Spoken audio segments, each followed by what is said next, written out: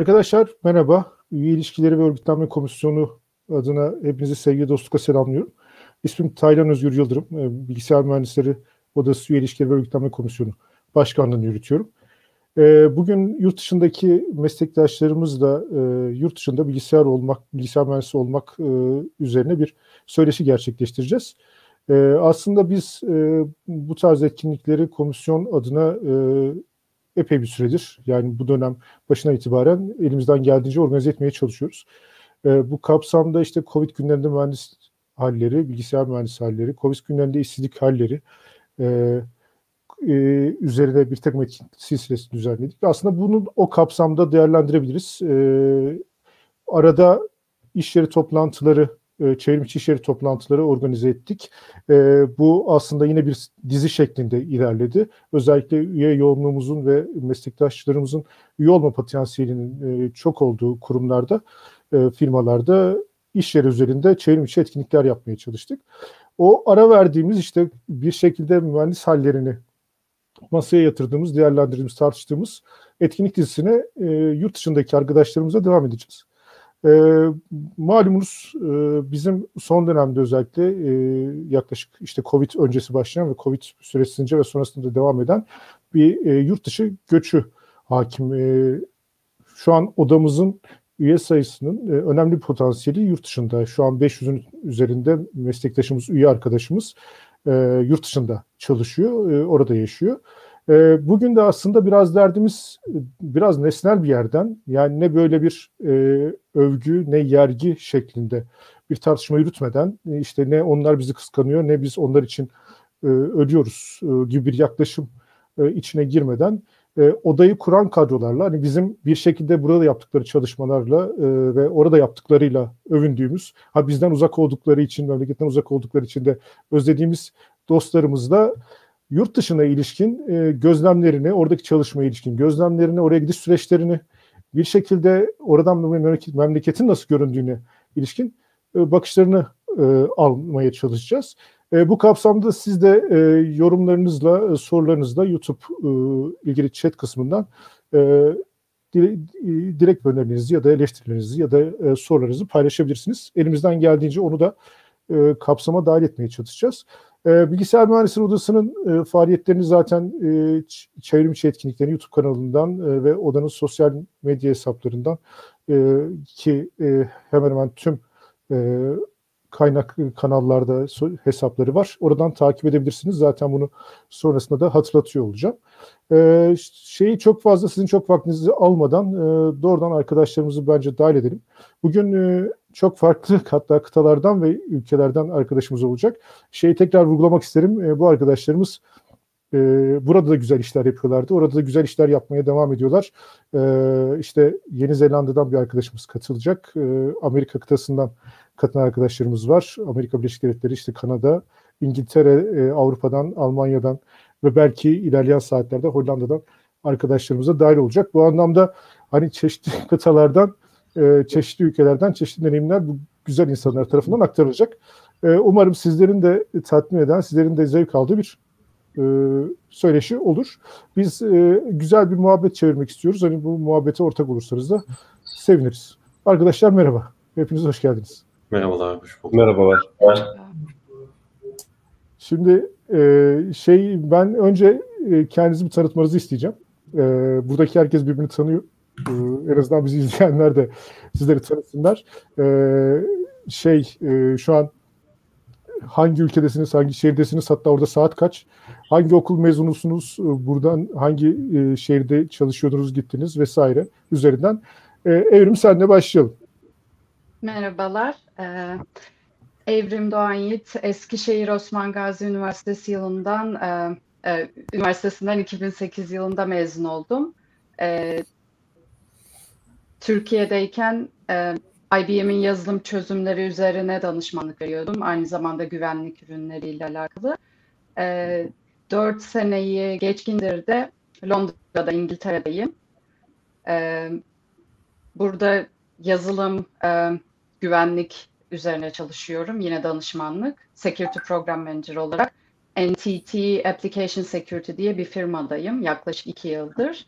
E, onun öncesinde de yine e, yazılım güvenliği üzerine e, bir firmada çalışıyordum.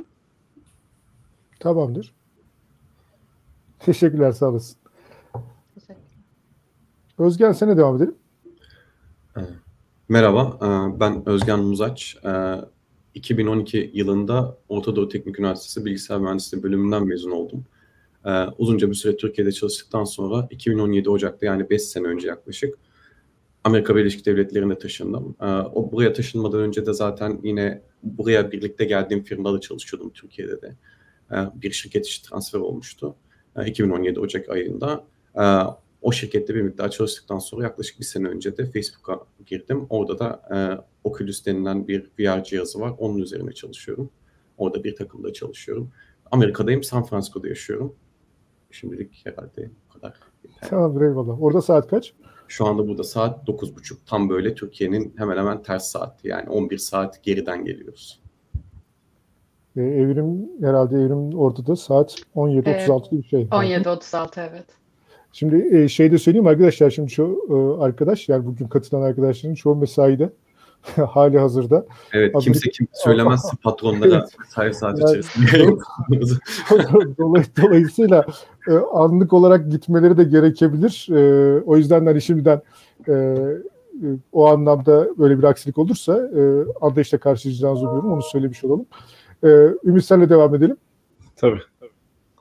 Ee, ben 2010 Ankara Üniversitesi mezunuyum. Ee, yaklaşık bir 2010 10 sene falan Türkiye'de çalıştım. Ee, TÜBİTAK'ta sonra Ericsson'da.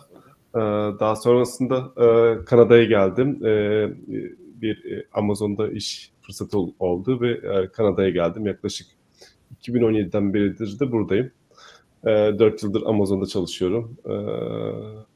Ya, genel olarak böyle buradaki işte e, e, genelde finansal e, çözümleri yapıyoruz şu an. E, Amazon'un arka taraftaki finansal işlemlerini idare eden sistemlerin geliştirilmesinde e, yer alıyorum.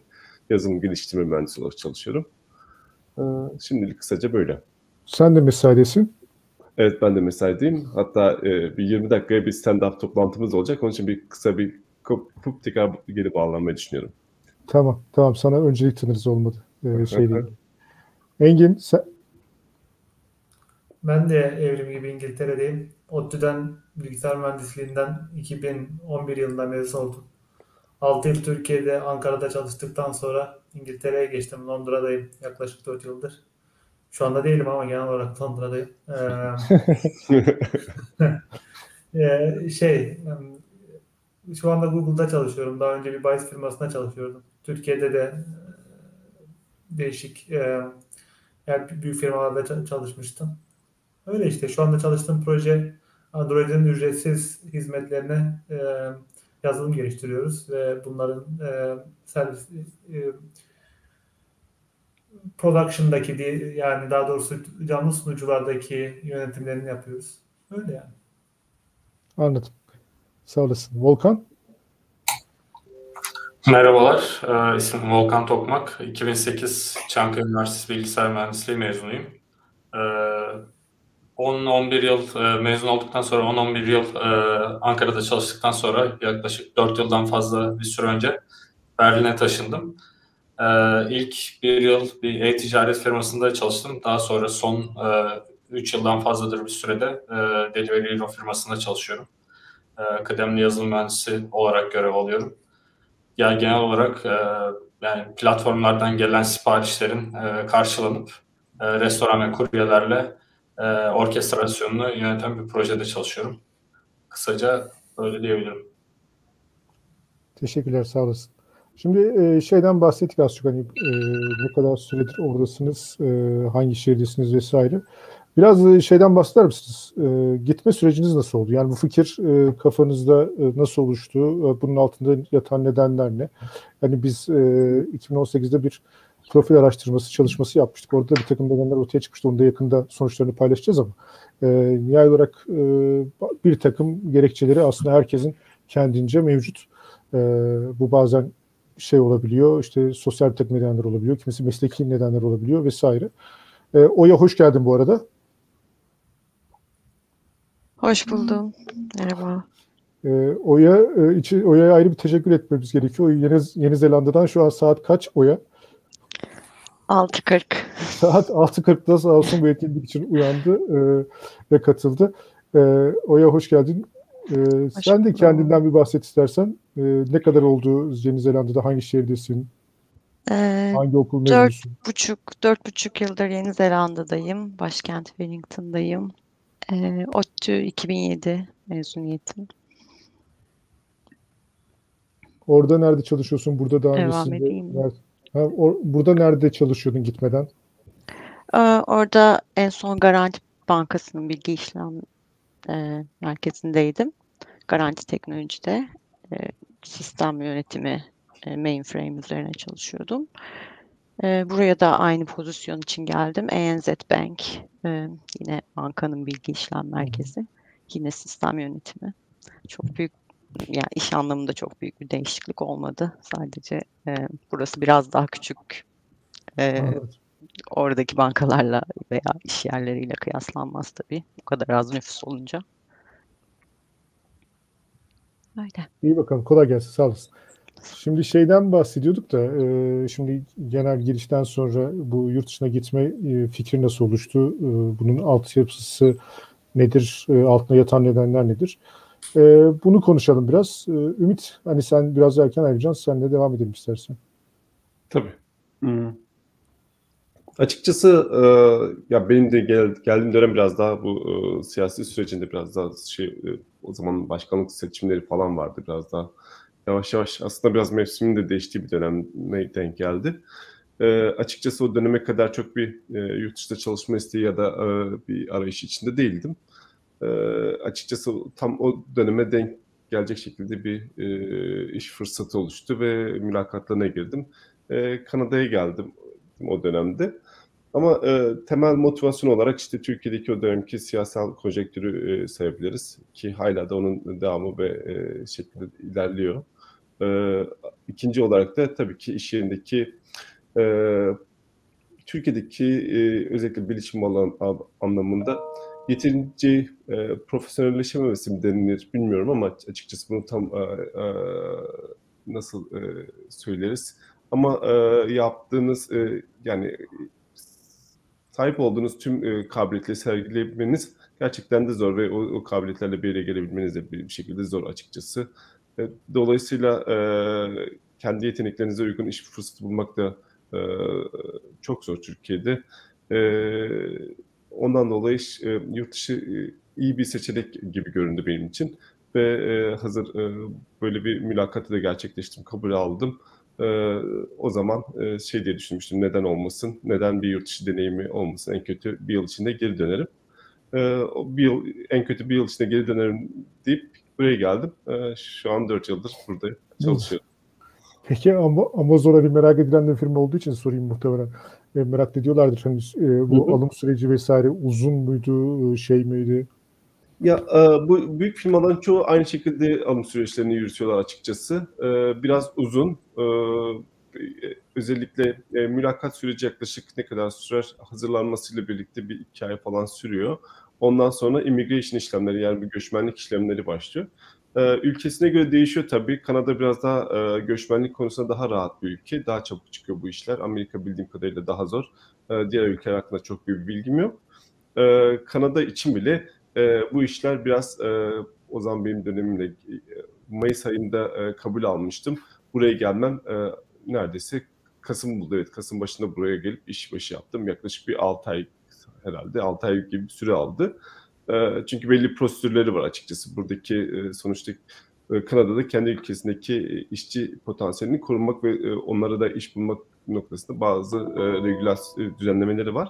E, dolayısıyla e, her bir göçmen e, bu düzenlemelerden kaynaklı biraz daha zaman zaman alıyor açıkçası buraya gelmesi, gelişmenin buraya gelmesi. E, benim açımdan bir yaklaşık 6 ay sürdü. Ama tabii bu şirketler e, bunlar çok sorun etmiyorlar. Yani açıkçası onlar da durumun farkındalar. E, ve e, biraz daha geleceğe yönelik planlamalar var. E, bir ikinci hastalıklı durum gerçekleşmiyor. Mesela Türkiye'de çok şeydir bu. İşte hemen gelip başlaman gerekiyor gibi bir yaklaşım var açıkçası Türkiye'de mesela. Ama buradaki firmalar genelde bu büyük firmalar e, bunun farkındalar ve yaklaşık 6 ay, bir sene içinde bile e, gelip e, işine başlayanlar var. E, bu çok büyük problem olmuyor. Benim sürecimde de bu 6 ay sürdü. Anladım. Tamam. Sağ olasın. Ee, Oya senle devam edelim mi? Hani sen bir de böyle e, kıta değiştiren bir insansın. E, hani, e, çok uzağa gittin birden. E, nedir e, senin hani, gitme e, motivasyonu ya da daha doğrusu kafanda bu fikri oluşturan şey? Yani aslında benim de çok farklı nedenlerim yok. Daha çok siyasi iklim.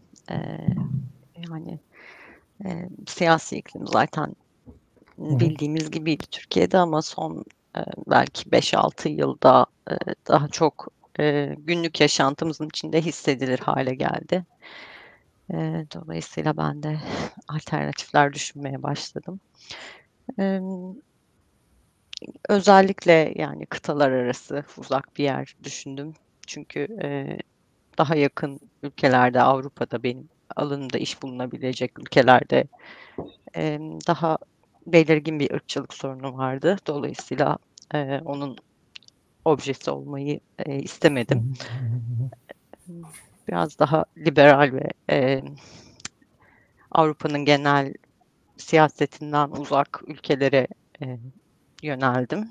Dolayısıyla Yeni Zelanda, e, Avustralya, belki Kanada gibi düşündüm. E, buradaki pozisyon çok bana uygundu. Dolayısıyla ilk e, başvurduğum e, bu pozisyona geldim.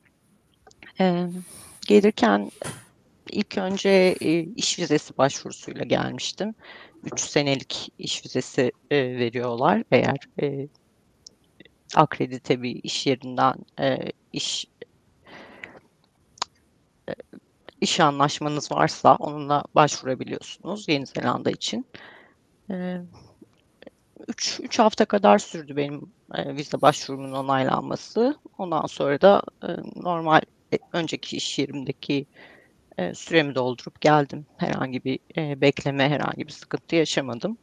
E, oturum için biraz daha farklı. Oturuma buraya geldikten sonra başvurdum. E, o sanırım bir sene kadar sürdü. Anladım. Uzağa gittim ama süreç kısa oldu diyorsun. Evet, yani e, buraya gelirken herhangi bir sorun yaşamadım. E, akredite bir e, iş yeri olduğu sürece çalışma vizelerinde problem yaşatmıyorlar gördüğüm kadarıyla. E, zaten çalıştığım iş yeri de oldukça e, uluslararası her ülkeden yani yerliden çok yabancı e, mühendislerle çalışıyoruz. Onlarda da bir iş e, iş vizesi anlamında sıkıntı yaşayan duymadım. Ama Covid sürecinde bütün vizeleri dondurdular. Şu anda turist vizesi bile vermiyorlar. O Anladım. ayrı mesele. Anladım. Anladım. Sağ olasın. Ee, İngiltere'yle devam edelim. Evrim senle devam edelim. Ee, benim de geliş sebebim aslında diğer arkadaşlardan farklı değil. Siyasi iklimin e, yani temel sebep siyasi iklimdi aslında ve bunun artık gündelik yaşama, e, ikili ilişkilere e, çok fazla yansıması ve artık hani e, benim için katlanılamaz bir hale almış olmasıyla birlikte biraz süreç tetiklendi. Ama bu e, yani yurt dışına çıkma fikri aslına bakarsanız son 10 yıldır aklımda olan bir şeydi. Yani çok hani e, yeni yeni ortaya çıkmamıştı ama yine siyasi iklime bağlı olarak aslında kafamın bir köşesindeydi. E, paralelde iş aramaya işte bazı başvurularda bulunmaya falan başlamıştık eşimle birlikte. E, o esnada da bir arkadaşımızdan bu e, meşhur Ankara Anlaşması e, vizesini duyduk. Onunla ilgili işte bilgiler edindik. E, bu vize türünde de bilmiyorum hani e, bilginiz var mı ama artık zaten şey, geçen sene e, 31 Aralık itibariyle e, İngiltere'nin e, şeyden e, Avrupa Birliği'nden çıkmasıyla tamamen bu vizeyi e, kaldırdılar. Fakat öncesinde bu vize tipinde şey bir e, business plan oluşturuyorsunuz ve şöyle söyleyeyim yani bu IT'den olmak durumunda da değilsiniz. Buraya e, Ankara Anlaşması ile gelen e, kebapçılar, e, berberler, e, işte pilates eğitmenleri gibi aslında çok e, farklı e, şeylerden, e, iş kollarından insanların başvurduğu bir vize türüydü. E, o dönem bizim aslında biraz kolayımıza geldi çünkü şey e, diğer türlü işte bir sürü hani onlarca belki yüzlerce iş başvurusu e, yapmamız gerekecekti. Sonrasında işte gelen e, o uzun e, mülakat süreçleri filan. Biz de tam o dönem yeni evlenmiştik ve hani artık hakikaten e, ülkenin yaşanmaz bir hale geldiği e, gerçeğiyle de iyice yüzleşince Ankara Anlaşması'na başvurma kararı aldık. E, eşim de bilgisayar mühendisi, o da e, güvenlik alanında çalışıyor. İşte o başvurdu, ben de onun e, e, dependent olarak geldim. E, bu durumda şöyle oluyor, o bir şirket kuruyor ve kendi şirketi üzerinden danışmanlık veriyor. E, bense dependent olduğum için burada e, full çalışma iznine sahibim. Yani ben istediğim yerde, istediğim işte çalışabiliyorum. Öyle olunca e, geldikten sonra işte e, işlere başvurmaya başladım. E, iş arama sürecim yaklaşık bir iki ya da üç ay e, sürdü. E, ve o dönem e, aslında gelmeden önce Türkiye'de en son e, yaptığım iş şeydi. E, teknik proje yöneticisi olarak çalışıyordum yazılım projelerinde. E, ama e, daha önceki e, iş deneyimlerim hep e, yazılım geliştirme süreçleri ve e, uygulama e, güvenlik e, süreçleriyle ilgili danışmanlık olduğu için burada da hem proje yöneticiliği hem işte yazılım e, güvenliği alanlarındaki işlere başvurularda bulunmuştum. E, sonrasında işte e, Veracode isminde bir e, yazılım güvenliği firmasından e, işte görüşmeye çağırdılar. Ondan sonra işte üç mülakat filan e, oldu. Arkasından da e, yani benim de prosesim e, toplamda iki ay gibi bir şey sürdü ki e, şöyle bir şey vardı. Benim zaten burada çalışma vizem vardı. Bana herhangi bir vize e, sağlamalarına gerek yoktu. E, ama şöyle söyleyeyim, yani buradayken iş aramak hem artıları var hem eksileri var. E, artı olarak sonuçta vizeniz olduğu için ve buradan iş aradığınız için e, size dönüşler daha fazla oluyor. Yani o dönem çok fazla geri dönüş aldım. Çünkü Türkiye'deyken başvurup da geri dönüş almadığım firmalardan e, buradan başvurduğumda e, bayağı hızlı dönüşler al, aldığımı fark ettim. E, ama öte yandan da şöyle bir gerçekle karşılaştım. E, Türk bazı firmalar sizin Türkiye'deki iş deneyiminizi çok umursamıyorlar. Yani Türkiye'de nerede çalıştığınız, hangi okuldan mezun olduğunuzun çok bir önemi yok. E, sanırım bunun nedeni de Avrupa Birliği'nde olmayışımız. Çünkü Avrupa Birliği'ndeki diğer ülkelerden e, aynı pozisyonlara başvuran insanların e, iş deneyimleri bir şekilde daha e, nasıl söyleyeyim e, kıymetli gibi. Yani ilk işe giriş sürecim biraz sancılı oldu. Yani 2-3 ay gibi bir süreç. Çok uzun sürmedi neyse ki. Fakat kendini bir şekilde ispat etmeye çalışma e, şeyi o özellikle ilk birkaç ayda bir de e, benim çalıştığım firmadakilerin e, hepsi İngilizdi. Ana dili İngilizce olmayan tek kişi bendim ve e, pozisyonum danışmanlık olduğu için ana dile yakın İngilizce konuşuyor olmaz, o, yani konuşuyor olmam aslında bekleniyordu.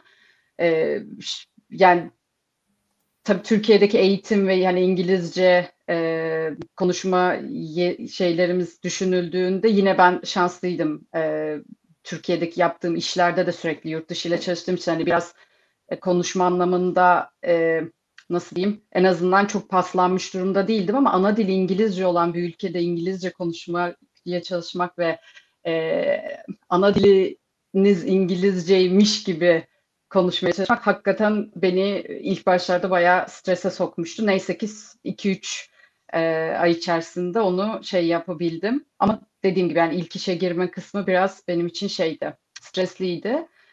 E, o şekilde. Yani ama genel olarak süreçler sanırım e, işe girme süreçleri 2-3 ay e, gibi bir şey Sürüyor. sürüyor.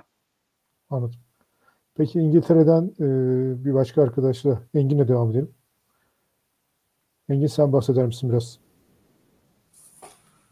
Merhabalar. Bu, Ee, ben bu arada ufak bir sadece şeye gireceğim. Özür Engin. Ee, şimdi e, sorularınızı istediğiniz zaman sorabilirsiniz.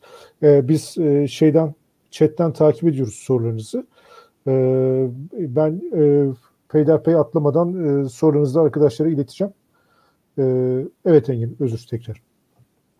Yok, ne demek? Ee, ben işte 2014-2017 arasında e, kendi kariyerimi daha çok geliştirebilecek yerlere, işlere falan bakıyordum.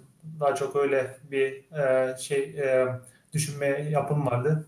Siyasi iklimden herkes gibi ben de rahatsızdım ama bir şekilde e, bu bu durumlarla mücadele edilebileceğine inanıyordum.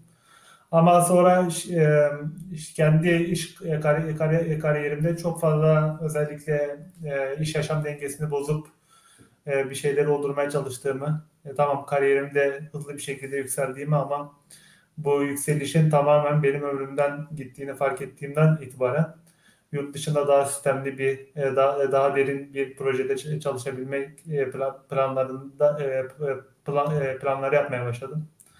2014-2000 17-18 aralarında 4 yıl boyunca böyle ara ara e, bazen büyük şirketlere bazen küçük şirketlere proje bazı şirketlere başvurdum.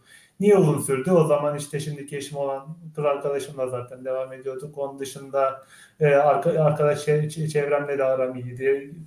E, iş, iş, iş tatminim de fena değildi. Aslında çok e, bir, bir sürü şey vardı. Yani kötü de değildi o kadar yani. Bayağı bir şey benim açımdan iyi gidiyordu. Siyasi iklimin çok kötü olmasına rağmen. Şimdi ama sonra baktım ki bu sürdürülebilir gibi değil. Ondan sonra dedim ki benim bu süreçleri hızlandırmam lazım. Biraz daha mülakatlara çalıştım falan derken en son işte Google, işte Amazon seviyesinde e, şirketlerden son aşamada e, on-site dedikleri yani şirketin kendi e, yerinde yaptığımız mülakat aşamalarında elenmeye falan başladım. Yani bayağı o süreçlerde geliştirdim kendimi mülakat süreçlerinde.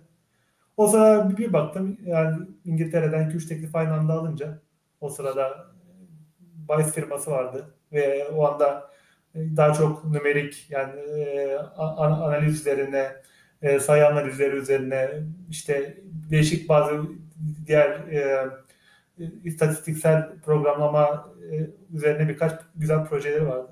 Oradan devam etme kararı aldım. E, şansa da tam o sırada geldikten sonra özellikle Türkiye'deki siyasi iklim çok çok hızlı bozulmaya başladı. Zaten bozuluyordu da bayağı hızlandı. Sonra yıllar içerisinde e, Türkiye'de özellikle kur baskısı üzerinden bir enflasyon gerilemesi oldu. Ben, e, onun dışında benzer durumda çalışan arkadaşlar e, bazı zamanlarda değişik gerekçelerle işten çıkarıldılar, çıkarılmayanlar yine enflasyon baskısına yenildiler falan. Yani aslında benim o kariyer amaçlı verdiğim e, karar benim sosyal, e, kültürel ve iş yaşam dengesiyle ilgili tüm e, koşullarımı baştan başa değiştirdi. Şu anda Türkiye'de kalmış olsam herhalde çok daha farklı bir hayat yaşıyor olurdum. Nasıl geldim peki buraya? Evrim arkadaşımızın dediği gibi şimdi İngiltere'ye gelişte özellikle bilgisayar mühendisleri için herhalde 2-3 yol, yol var. E, bunların iki tane en popüleri, iki, iki, e, bir tanesi Ankara Anlaşması'ydı o kalktı zaten. İkincisi de sponsorlu gelişti. Ben sponsorlu şekilde geldim. Sponsorlu şekilde geldiğim için vizem falan bir ayda falan çıkmıştı. Çok sıkıntı olmadı yani. E, zaten diğer sponsorlu gelen arkadaşlar da benzer şeyleri söylüyorlar. Sponsorlu gelmenin Ankara Anlaşması'na göre dezavantajı Tabii ki sponsorlu e, olarak sizi çalıştıran şirkete bağlısınız. İş değiştirdiğinizde başka bir sponsor bulmanız gerekiyor. Ankara Anlaşması'nda ise mesela biraz daha kendi e, kendinize, kendi şirketin üzerinden çalışabiliyorsunuz. Tabii son yıllarda onlarla ilgili vergi e, problemleri oldu. Onlarla ilgili iş kolları falan bayağı da, daraldı. Ama onun dışında Ankara Anlaşması'yla ilgilenenler daha avantajlı e, durumlardaydı. Şu anda e, bizim ama avantajımız işte dediğim gibi bu vize süreçleri falan daha e, rahat ilerliyor. Çünkü bir sponsor falan olunca onlar bazı şeyleri yapınca hatta bazen premium servisler var yani daha paralı servisleri e, başvurunca sizin için bazı süreçler hızlanıyor. Benim İngilizcem ya, fena değildi. Yani zaten lisede, üniversitede hazırlık okudum. Bölümüm de İngilizceydi zaten. Ee, onun için İngiltere'yi seçerken o, o kararı almıştım. Eşimin de İngilizcesi fena değil. Onun için dedim ki ya, e, e, şimdi İngiltere'ye falan gelirsek ikimiz de rahat ederiz. En azından dilini bildiğimiz yerde konuşuruz. Ha benim dil e, becerilerime de eskiden güvenirdim ama zamanımı yeni bir dil öğrenmeye harcamak için kullanmak istemedim. Onun yerine kariyer olarak geliştiririm dedim kendime. Öyle yani. Anladım abi. Sağ olasın. Ee, Özgen sana devam edelim. Ha, merhabalar. Ee, bir şey sanırım herhalde bu benim yurt dışına gitme maceramın ilk başlangıcın herhalde sen ve Oktay'la birlikte başlamıştık muhabbete yani o gün olmuştu herhalde. O açıdan hani biraz ikimiz de ekranda olup da sanki hiç bilmiyormuşçasına biraz nasıl olmuş, nasıl gitmiş falan. Ee, yani aslında benim aklım... ben anlatayım o zaman. aklımda falan evet o da olabilir yani ben sen dış göz olarak daha böyle makul bir açıdan. Evet, estağfurullah. yani bu aslında benim hiç aklımda falan da yoktu benim yurt dışına gitmek gibi bir şey o, o dönemde en azından kısa vadede çok aklımda falan da yoktu hatta yani önümde hatta iki senelik kurduğum bir plan bile vardı Türkiye'de. Çünkü tam o zamanlar işte oda yönetimine girmiştim. Benim için bir ilk defa olmuştu o. İşte oda yönetiminde bir işler yapmaya başlamıştık. Bir şeyler yapmaya çalışıyordum. Yani hem orada aktif olmaya çalışıyordum. Hem aynı zamanda iş hayatında da işte bir, bir şekilde hani kendimi yer edinmeye falan çalışıyordum. İşte bir e, yani öyle bir yaz tatili vaktiydi. Bir yaz tatiline gidip gelmiştim. Sonrasında da işte benim çalıştığım firma, Türkiye'de çalıştığım firma o zamanlar Amerika'da da ofis olan bir firmaydı. Ve o zamanlar bayağı sıradan bir işti. Hani ofisler arası transfer işte kim zaman Türkiye'den insanlar Amerika'ya taşınıyorlardı. Amerika'dan Türkiye'ye pek taşınan yoktu ama yani öbür türlü hani ofisler arası böyle transferler oluyordu. oluyordu. Benim çalıştığım takım da aslında biraz da Amerika'daki bazı takımlarla daha yakındı. E, ben tatildeydim aslında. Geri geldiğimde yöneticim şey demişti. Ya böyle bir şey var. Soruyorlar hani taşınır mısın Amerika'ya? Hani orada bir ihtiyaç olduğu söyleniyor. İşte senin de ismin geçti. Ne diyorsun şeklinde bir başlangıç olmuştu ve dediğim gibi o anda herhangi aklımda herhangi bir şey de yoktu ve kısa vadeli olarak da zaten bir ülkede kalma ve bir şeyler yapma e, hazırlığım vardı. Yani o, zaten öyle bir planım vardı. Hatta işte o günde öğlen yemeğinde tesadüfen senle Oktay'la buluşmuştuk ODTÜ'de, e, ODTÜ çarşıda. İlk de o ikinize söylemiştim. Yani hani böyle böyle bir durum var ve aslında birazcık da sorumluluk hissederek söylemiştim. Çünkü o, o da işine birlikte girmiştik. İşte birlikte seçimler hazırlanmıştık. Birlikte yönetim kuruluna girmiştik ve bir şeyler yapabilme üzerine bir e, irade beyanında bulmuştuk. Ama ben biraz böyle tam ortasından gidebilme gibi bir şey e, ihtimal koyuyordum ortaya.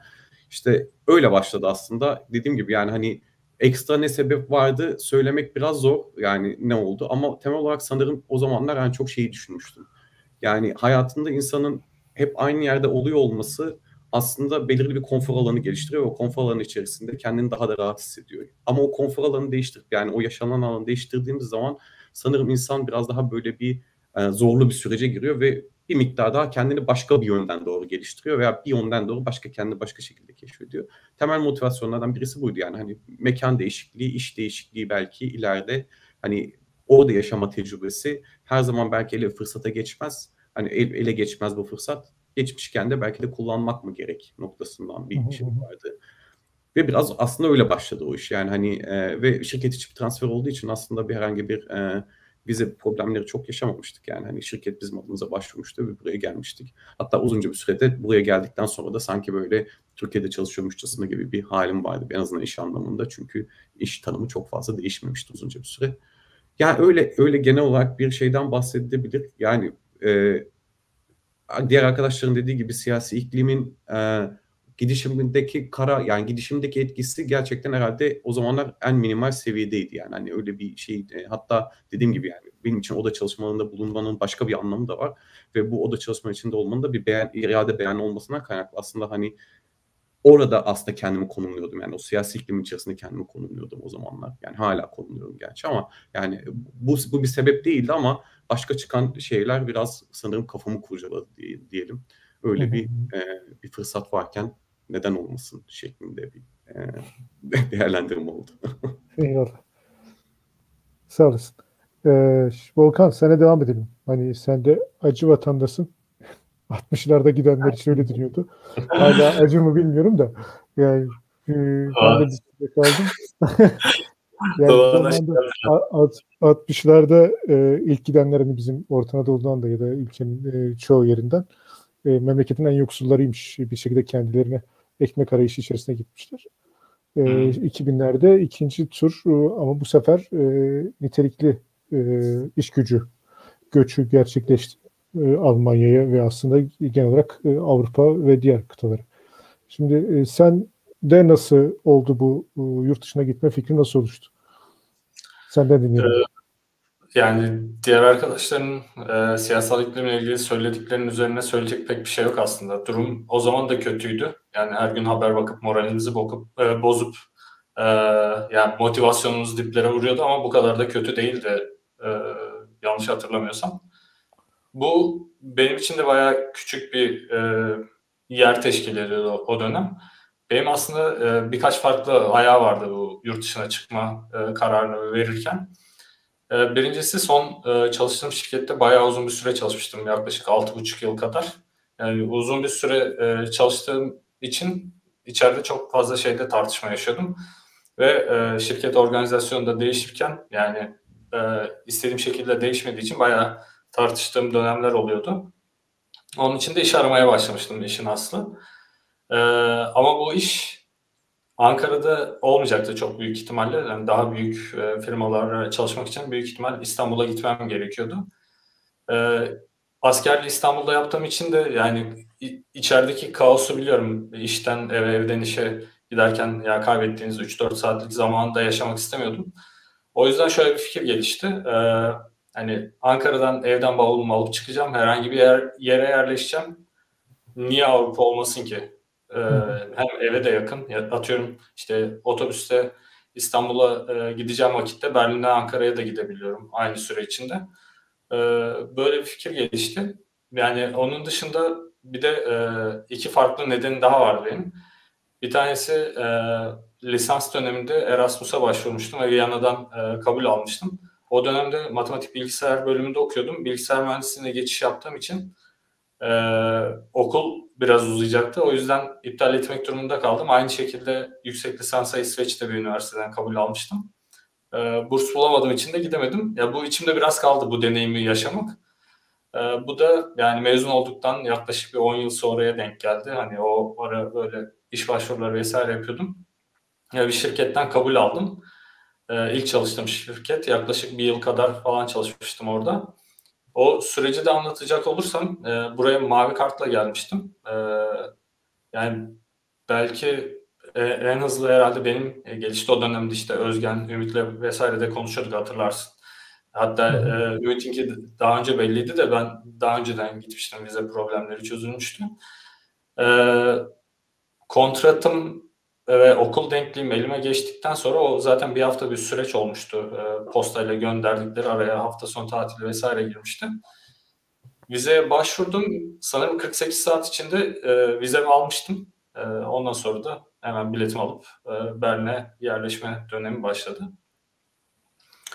E, yani bir yıl çalıştım orada. Ondan sonra e, yani beklediğim gibi gitmedi işin aslında e, şeyler. E, yani mülakatta bahsettikleri kadar e, şaşalı değilmiş. İşte şunları kullanıyoruz, işte e, son teknoloji siteğini kullanıyoruz vesaire falan dediler. Bıraktığım ortamdan daha kötü bir teknoloji siteyle karşılaştım. Yani bu değildi aslında benim beklediğim falan diye biraz tartıştık vesaire. Yani ikinci ay sonunda başka bir firmayla anlaşmak üzereydim Münih'te. Yani Berlin'den ikinci ayda Münih'e taşınmak mı yoksa Berlin'de kalıp başka bir e, iş bakmak mı e, durumunda kaldım. Yani o kararı e, vermeye çalışıyordum. Biraz komik oldu o dönem aslında. E, yani Berlin'e alıştığımı hissettim. Çünkü daha önce Berlin'e gelmiştim. Yani Berlin'e geliş nedenimin e, bir nedeni de yani Türkiye'den e, Ankara, İstanbul, İzmir'den gel, gelen birinin en çabuk adapte olabileceği bir şehir sanırım Berlin. Sen de daha önce burada bulundun. O yüzden yani e, hani buna sen de yorum yapabilirsin herhalde. Yani kendinizi yabancı hissetmeyeceğiniz bir yer Berlin. Yani o yüzden Berlin'de kalmak istedim e, işin açı. Sonra e, ya o dönem bir şirketle anlaştım. E, anlaşmak üzereydim. E, Boş Boş'la görüşüyordum o dönem. Aynı zamanda e, Delivery Hero e, ile görüşmeye başladım. Delivery Hero biraz daha yakın geldi. Hem e, mülakat süreçleri hem e, e, onun dışında yaptıkları teklif vesaire O yüzden Delivery Hero'yu kabul ettim. Yaklaşık 3-4 ay sonra da Delivery Hero'da işe başladım. O günden beridir de aynı şirkette devam ediyorum. Eyvallah. Şey e, rica edeyim ben. Adil arka taraftan eğer e, eğer görüntüde çok fazla problem olmayacaksa arkadaşların hepsini tek karede görmeyi tercih ederim ben. Çünkü böyle bir şey oluyoruz. Birbirimizi yabancılaşıyoruz. Hani e, dışarıdan izleyenler için çok e, problem olmayacaksa e, Seda da geldi. Seda hoş geldin.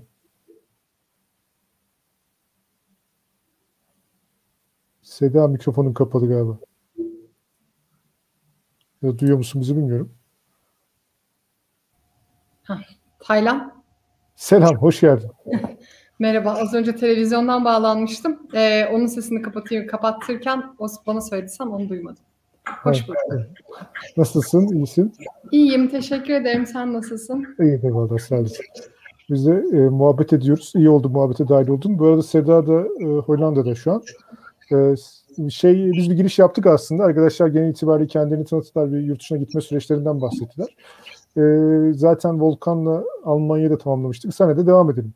Kendinden biraz bahset. Hani e, hangi okul mezunusun? Daha önce Türkiye'de neredeydin?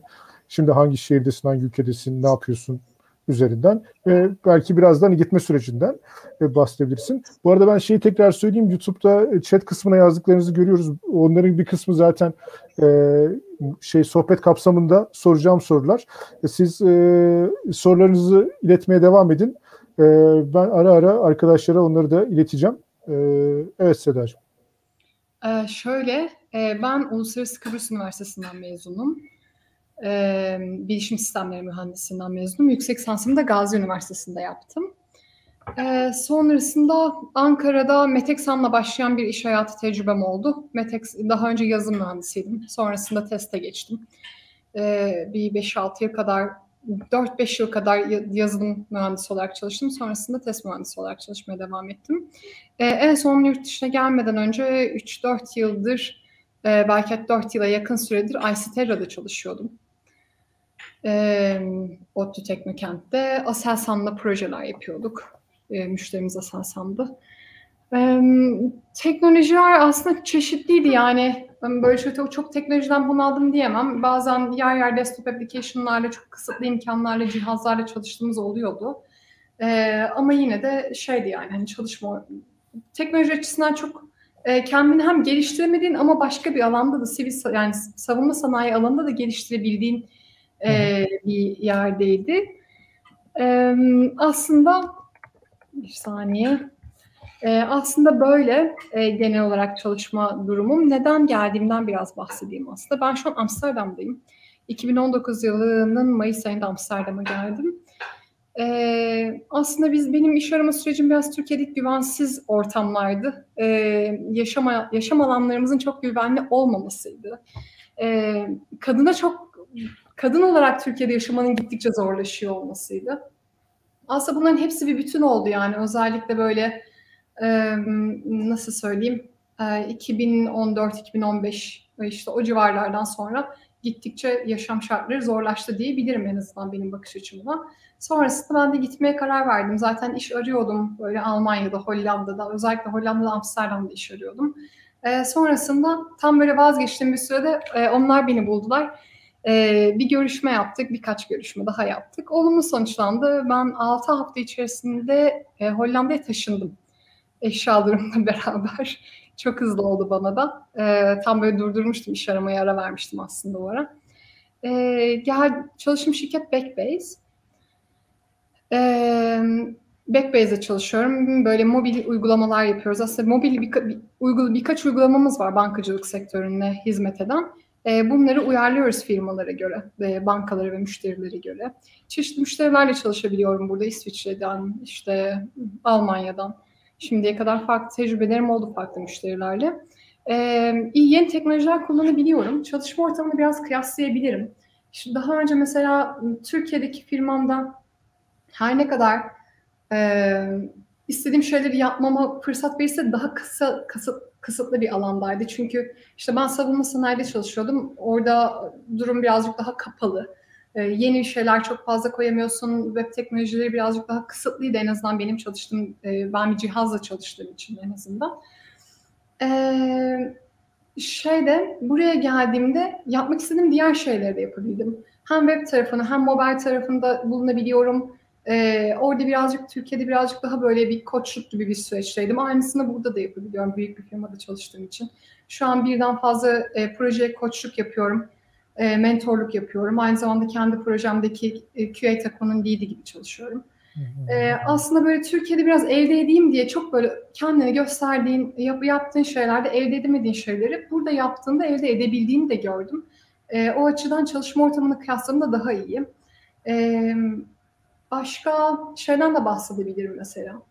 E, gerçekten e, çalışma ortamında ya kendi kendi dilimizi kendi insanımızla çalışıyoruz ama güven ortamı oluşturmak çok zordu. Ee, burada güven ortamının e, en azından benim çalıştığım şirkette kendi tecrübemden yola çıkarak söylersem güven ortamı oluşturmanın daha kolay olduğunu düşünüyorum. Çünkü işinizi doğru yapıyorsanız zaten orada da yapıyorsunuz bütün emeğiyle ama bazen de onun e, karşılığını görmek istiyorsunuz. Burada bunun karşılığını daha hızlı alabildiğiniz bir yerde çalıştığım için şanslı hissediyorum kendimi. E, yaptığınız şeyle yürüyebiliyorsunuz. Onu bir hedef olarak koyup oraya devam edebiliyorsunuz. Bunlar keyifli kısımları. Ee, başka e, kadın olarak çalışmak çok daha e, o, onu ayrıca gelelim. Onu ayrıca evet. gelelim. Onu zaten e, ayrıca bir konuşmak istiyorum ben sizde. Yani şey evet. senle, Evrim'le, Oya'yla e, kadın olma Türkiye'de nasıldı, yurt dışında nasıl? Hı hı. Ama e, çok güzel bir giriş oldu. E, hatta şöyle bir şey, benim e, e, açacağım ya da açmak istediğim bir yere de sen giriş yapmış oldun. Bence böyle daha iyi. E, tüm arkadaşları yüzünü görünce e, daha rahat yabancılaşmadan konuşabiliyoruz. Daha böyle sohbet muhabbet gibi oluyor. Şimdi şey e, aslında e, chatte de yazmışlar arkadaşlar birkaç da soru var. E, benim de zaten size konuşmak istediğim iki temel konu var. Biri e, şu genel itibariyle yurt dışına gitme işte Türkiye'deki siyasi atmosfer, ekonomik nedenler vesaire bir yandan da bilgisayar mühendislerin ya da genel olarak mühendislerin e, bir mesleki tatmin ya da kendi teknik potansiyellerini bir şekilde gerçekleyebilecekleri bir alan yaratma arayışını da görüyoruz. Hani bizim e, en azından yurt dışına giden arkadaşlarımızla konuştuğumuzda ya da bir şekilde yaptığımız çalışmalarda bu çok e, belirgin olarak ortaya çıkıyor.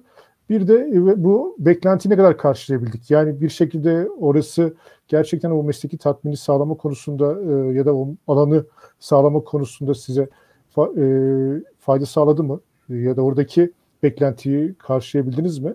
Ve bunu bir e, Kaan Hocam'ın güzel bir sorusu var. Aslında bunu bir çalışan olarak değer görmekle de bütünleyerek e, yanıtlarsanız sevinirim. Yani bu örneğin Türkiye'de e, çalışana verilen değer e, konumlandırmasını nasıl görüyorsunuz? Orada buna e, ilişkin e, nasıl bir gözleminiz var? E, bunu soracağım. E, bunu ikinci soruyu da aslında e, ilk tur döndükten sonra soracağım ama en azından açmış olayım. Tabii bununla bağlantılı olarak e, sonuç itibariyle mesleki yaşamınız işin bir boyutu. Bir şekilde bir sosyal yaşam e, derdi var. Yani toplumsal hayatta e, ne gibi artılar, ne gibi eksiler var.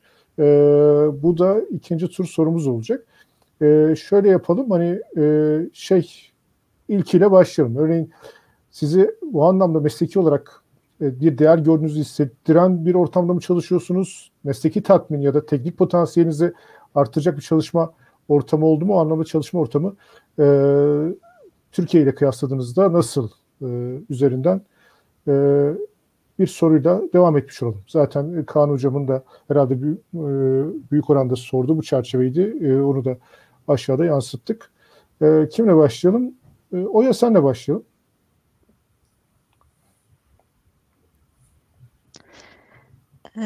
Evet, iş ortamını iki açıdan kıyaslayabilirim. Kariyer anlamında burası çok daha küçük çapta bir yer. Yani ben en büyük bankasında çalışıyorum Yeni Zelanda'nın. Daha önce çalıştığım iş yerlerinden çok çok küçük. Gerek teknolojik kapasitesi olsun, gerek müşteri, gerek e, çalışan sayısı olsun çok daha küçük, çok daha e, az bir kitleye hizmet veriyoruz. E, dolayısıyla daha küçük ekiplerle çalışıyoruz. E, Türkiye'deki gibi tek bir e, bölümde, tek bir iş alanında 10 kişi, 5 kişi gibi sayılar yok. Yani bir kişi birden fazla alanda çalışıyor. Birden fazla teknolojiye hakim olmak zorunda kalıyor. Ee, burada burada Türkiye'deki şirketler kadar böyle agresif bir e, değişim, agresif bir e, yenilenme e, çabası da yok. Yani biraz daha yavaş, daha kendi hızımızda çalışabiliyoruz. Öyle diyebilirim. Yeni Zelanda'nın zaten sanırım anayasasında da var iş yaşam dengesi işverenler buna saygı göstermek zorundalar. Dolayısıyla hafta sonları fazla mesailer yapmıyorum. En azından Türkiye'deki kadar sık yapmıyorum. Daha çok resmi tatilleri kendi e, istediğim şekilde değerlendirebiliyorum. Akşam e, beş, beş buçuk altıdan sonra çalıştığım çok az. Yani or, orayla kıyaslanmaz bir e, rahatlık var. Ve kendi hızımda. Onun dışında kendini geliştirme anlamında e, yani tabii ki destek olmaya çalışıyor şirketler. E, ama yani Türkiye'de olmayıp da burada bulduğum ne var? Teknoloji anlamında çok fazla bir şey yok. Sadece daha fazla alana e, el atmak durumunda kaldım. O da daha az kişiyle çalıştığımız için aslında belki iyi bir yönü değil. E, Böyle yani teknik Anladım. anlamda, kariyer Whats- anlamında böyle. WhatsApp grupları var mı? Mesela sürekli yazışmaların yapıldığı, hiç bitmeyen WhatsApp grupları. Hayır, sadece Yani e, sosyal merak bir. WhatsApp grubu var. Anladım. E, yani bu, bu cuma nerede, hangi barda buluşuyoruz? E, anladım. şeklinde bir WhatsApp grubu var. Anladım. Sağ olasın.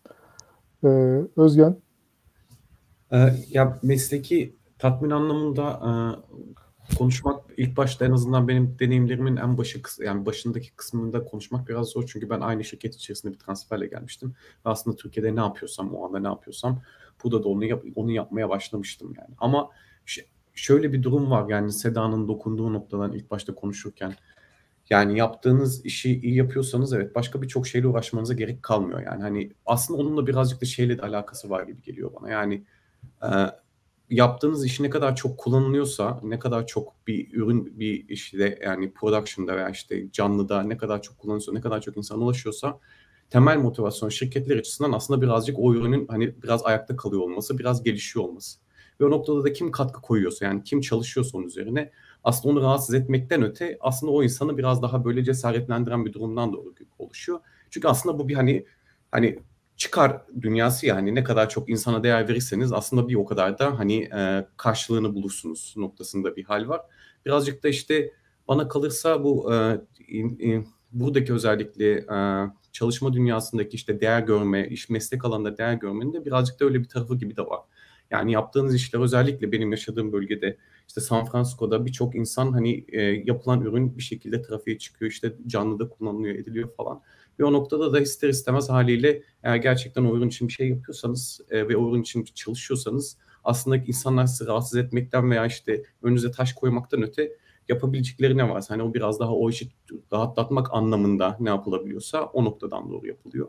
Yani bir, o, o, o açıdan da biraz mesleki anlamda değer gördüğünü söylenebilir. Bu işte benim ilk geldikten sonraki bir uzunca bir süre işte aynı firmada kalmam bir Türkiye ile bu arası arasındaki işte teknik anlamda ne kadar farklılık var o karşılaştırmayı biraz zorlaştırmıştı. Ama işte bir yaklaşık bir sene önce falan da firma değiştirdim artık. E, Facebook'a geçtim. Facebook'ta da işte bir Oculus e, VR cihazı var belki yani duyanlar olmuştur. Orada çalışıyoruz. Orada işte biraz daha farklı olduğunu hissediyorum. Onun da sebebi biraz daha çok yeni bir teknoloji olması, işte çok daha farklı şeylerle uğraşılıyor olması, işte başka yerde fırsat bulamadığım bulamadığım şeylerle uğraşabiliyor olma ihtimali birazcık teknik olarak hem bir e, zorluk getiriyor. Yani öğrenme anlamında yeni teknolojilere hakim olmak anlamında bir zorluk getiriyor. Hem de aynı zamanda e, yani bir e, yeni şeyler üretmenin verdiği bir heyecan da heyecan da oluşturuyor aynı zamanda. İkisi birlikte birbirini besleyen şeyler.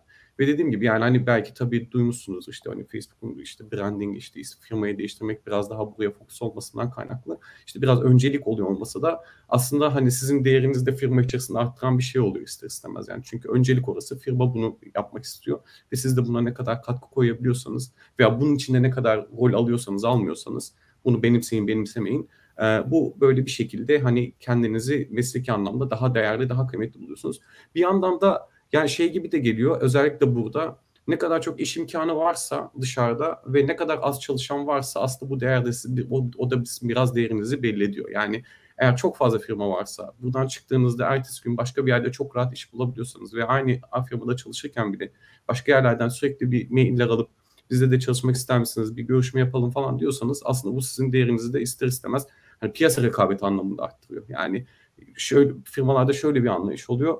Ya rahatsız etmeyelim, memnun etmeyelim. Çünkü yani memnuniyetsizlik yaratmayalım. Çünkü eğer böyle bir şey olacak olursa ertesi gün iş değiştirebilir, başka bir yere gidebilir. Seçeneği var. Yani aslında mesleki anlamda değer değer görmenin e, birkaç farklı şeyi var, e, sebebi var. Yani işte de, tekrar edecek olursam e, imkanın fazla olması, çalışacak yerin fazla olması, yaptığınız ürünün kullanılıyor olması ve o ürünün sağlığının her şeyden daha önemli oluyor olması.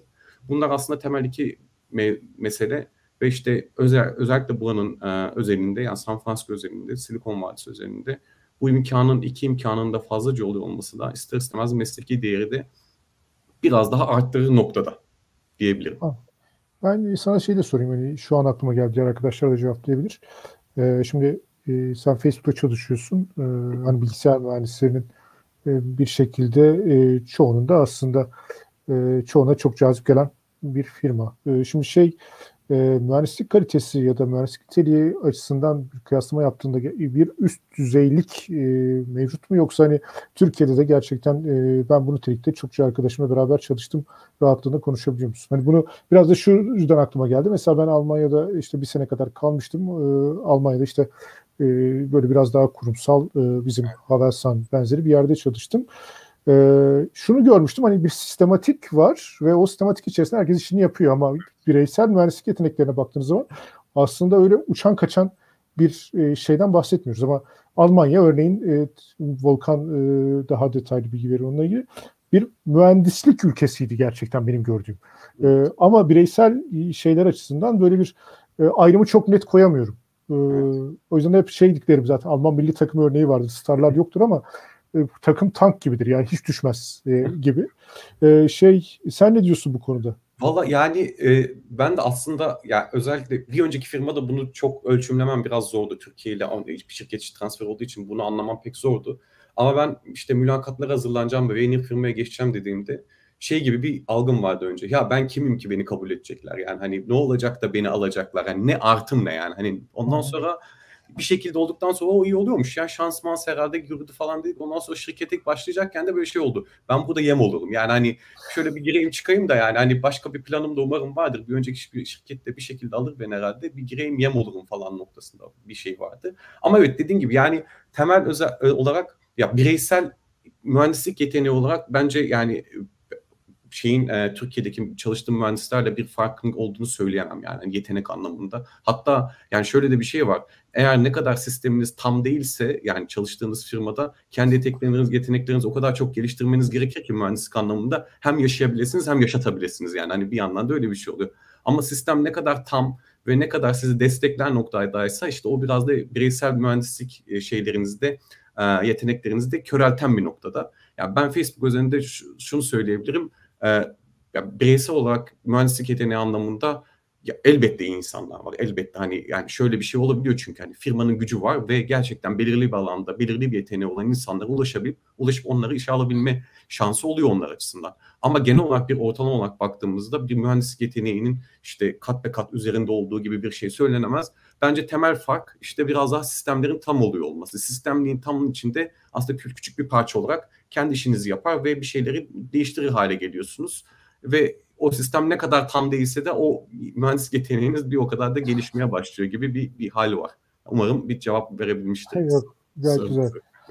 Ee, Engin kafa sallıyor. Bence Engin'e devam edelim.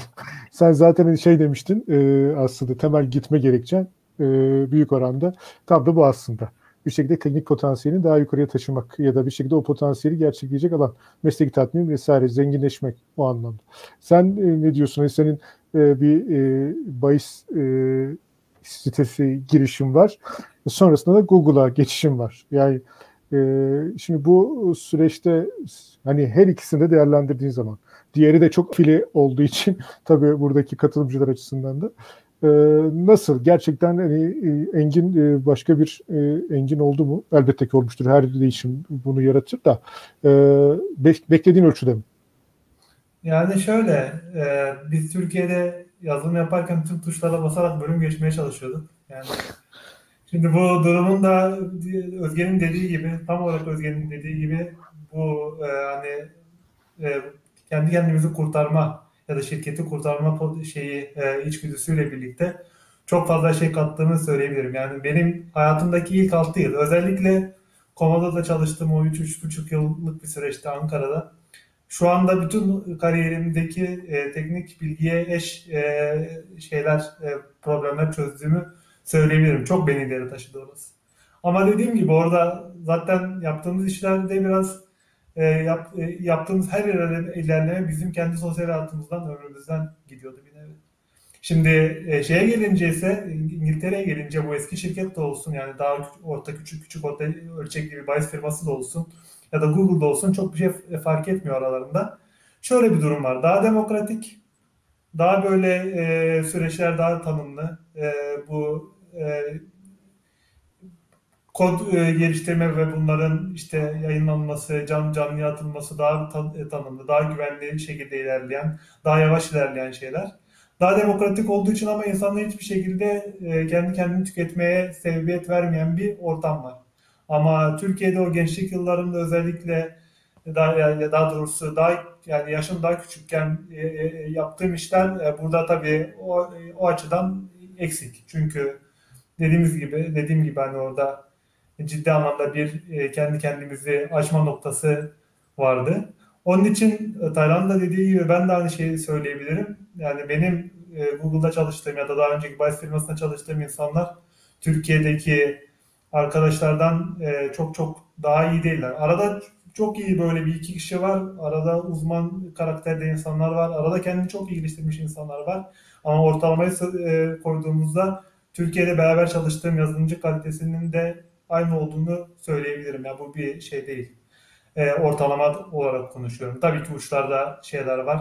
Google'un da uçları var. Türkiye'de de çalışırken uçları vardı. Peki kendimi geliştirebildim mi oralarda? Şunu fark ettim aslında e, kendimi geliştirebildim evet ama beklediğim e, şekilde değildi. Yani ben daha çok hani e, bugüne kadar e, gittiğim güne kadar geliştirdiğim tüm e, becerilerimi e, kullanabileceğim, yetkinliklerimi kullanabileceğim bir ortam hayal ederken orada daha çok o yetkinliklerin hepsini arkada kılavuz olarak tuttuğum, daha çok tek bir konuda yavaş yavaş ilerleme kat ettiğim bir e, şekle döndü olay. Mesela ben senelerdir Git kullanıyorum. Örnek vereyim. E, mesela e, ben ilk hayatımın ilk 6 yılında kullandığım Git'i doğru düzgün kullanamamışım bile. Çünkü çok fazla böyle dallanıp budaklanan şeyler falan vardı. Yani böyle doğru düzgün bir e, kod e, review diyorlar. Hani birbirimizin kodlarını kontrol ettiğimiz süreçler falan yoktu. Mesela bunlar o kadar güzel oturdu ki, o kadar güzel şey yaptı ki. O yavaş süreçler aslında benim derinlemesine bu sefer bilgi e, daha bilgi yani bir beceri seviyesi kurmamı sağladı. Aynı zamanda yine bu e, yurt dışında yaşadığım süre boyunca özellikle e, iş e, yaşa, e, iş konusunda, iş işleyişi konusunda, iş mantığı konusunda ve iktisat konusunda, istatistik konusunda da becerili e, olabileceğimi de fark ettim. Bu açıdan da iyi oldu. Yani ta, tamamen değişik bir mecra, tamamen değişik bir hikaye, değişik şeyler kattı. Yani kendi daha önce klas olarak edindiğim bilgileri bir e, ileri taşıdı diyebilirim ama e, beklediğim ölçüde değil, daha farklı ölçüde oldu. Teşekkürler abi, gayet güzel. Ee, Evrim sana devam edelim.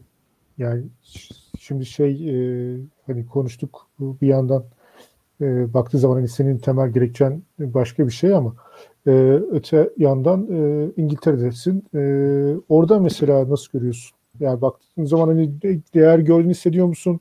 Teknik olarak e, Türkiye'den e, çalışma alanı seni daha zenginleştiren bir yere taşıyor mu seni? E, ya da hı hı. işte Engin'in söylediği şey aslında daha özgür mü hissediyorsun? Yani hı hı.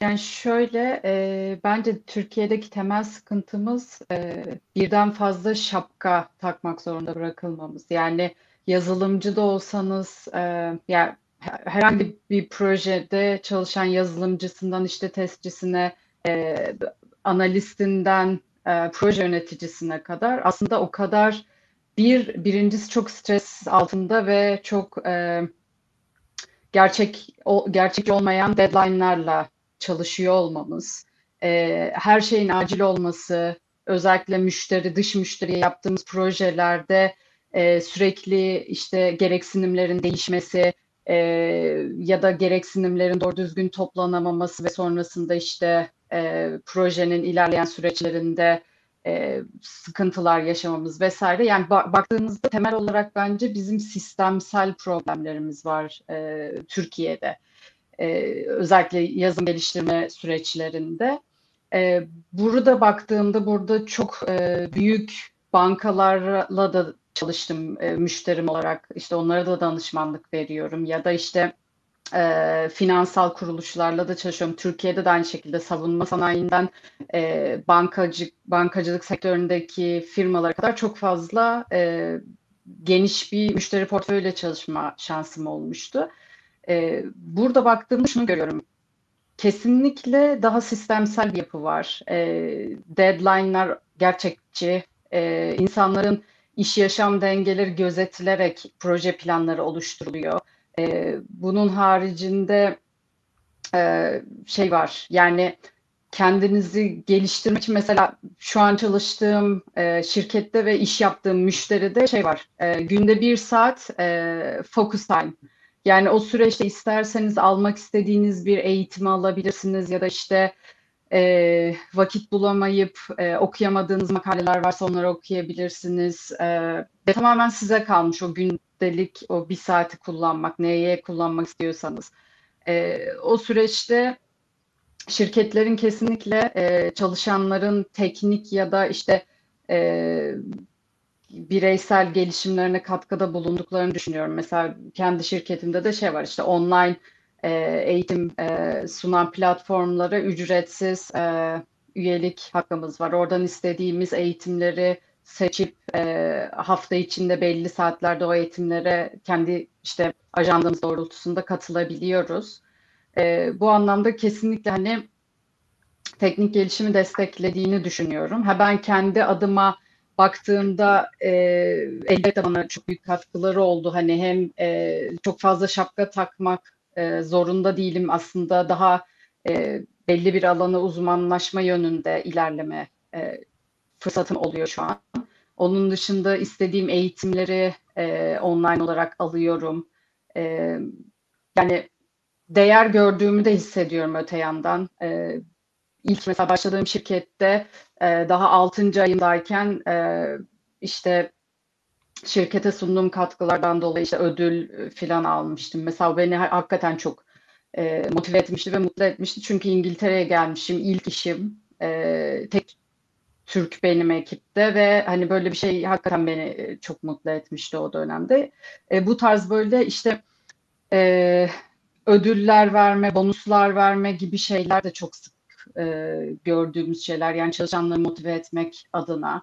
E, onun haricinde mesela yöneticilerle yaptığımız birebir e, görüşmeler var. Bunlar bazen haftalık bazen iki haftalık oluyor. Orada e, sizi gerçekten dinliyorlar ve o görüşmenin işte atıyorum yarım saatlik bir görüşme ilk 5-10 dakikası işle ilgili ise e, mutlaka yarısında sizin kişisel e, işte ruh haliniz nasıl, mutlu musunuz, aileniz nasıl, sağlığınız nasıl hep hani bu tarz konular e, konuşuluyor. E, sadece e, yani nasıl diyeyim insan olarak da size değer verdiklerini e, gerçekten hissettiriyorlar. En azından yani ben e, hissettim. Belki ben şanslıyım bilmiyorum.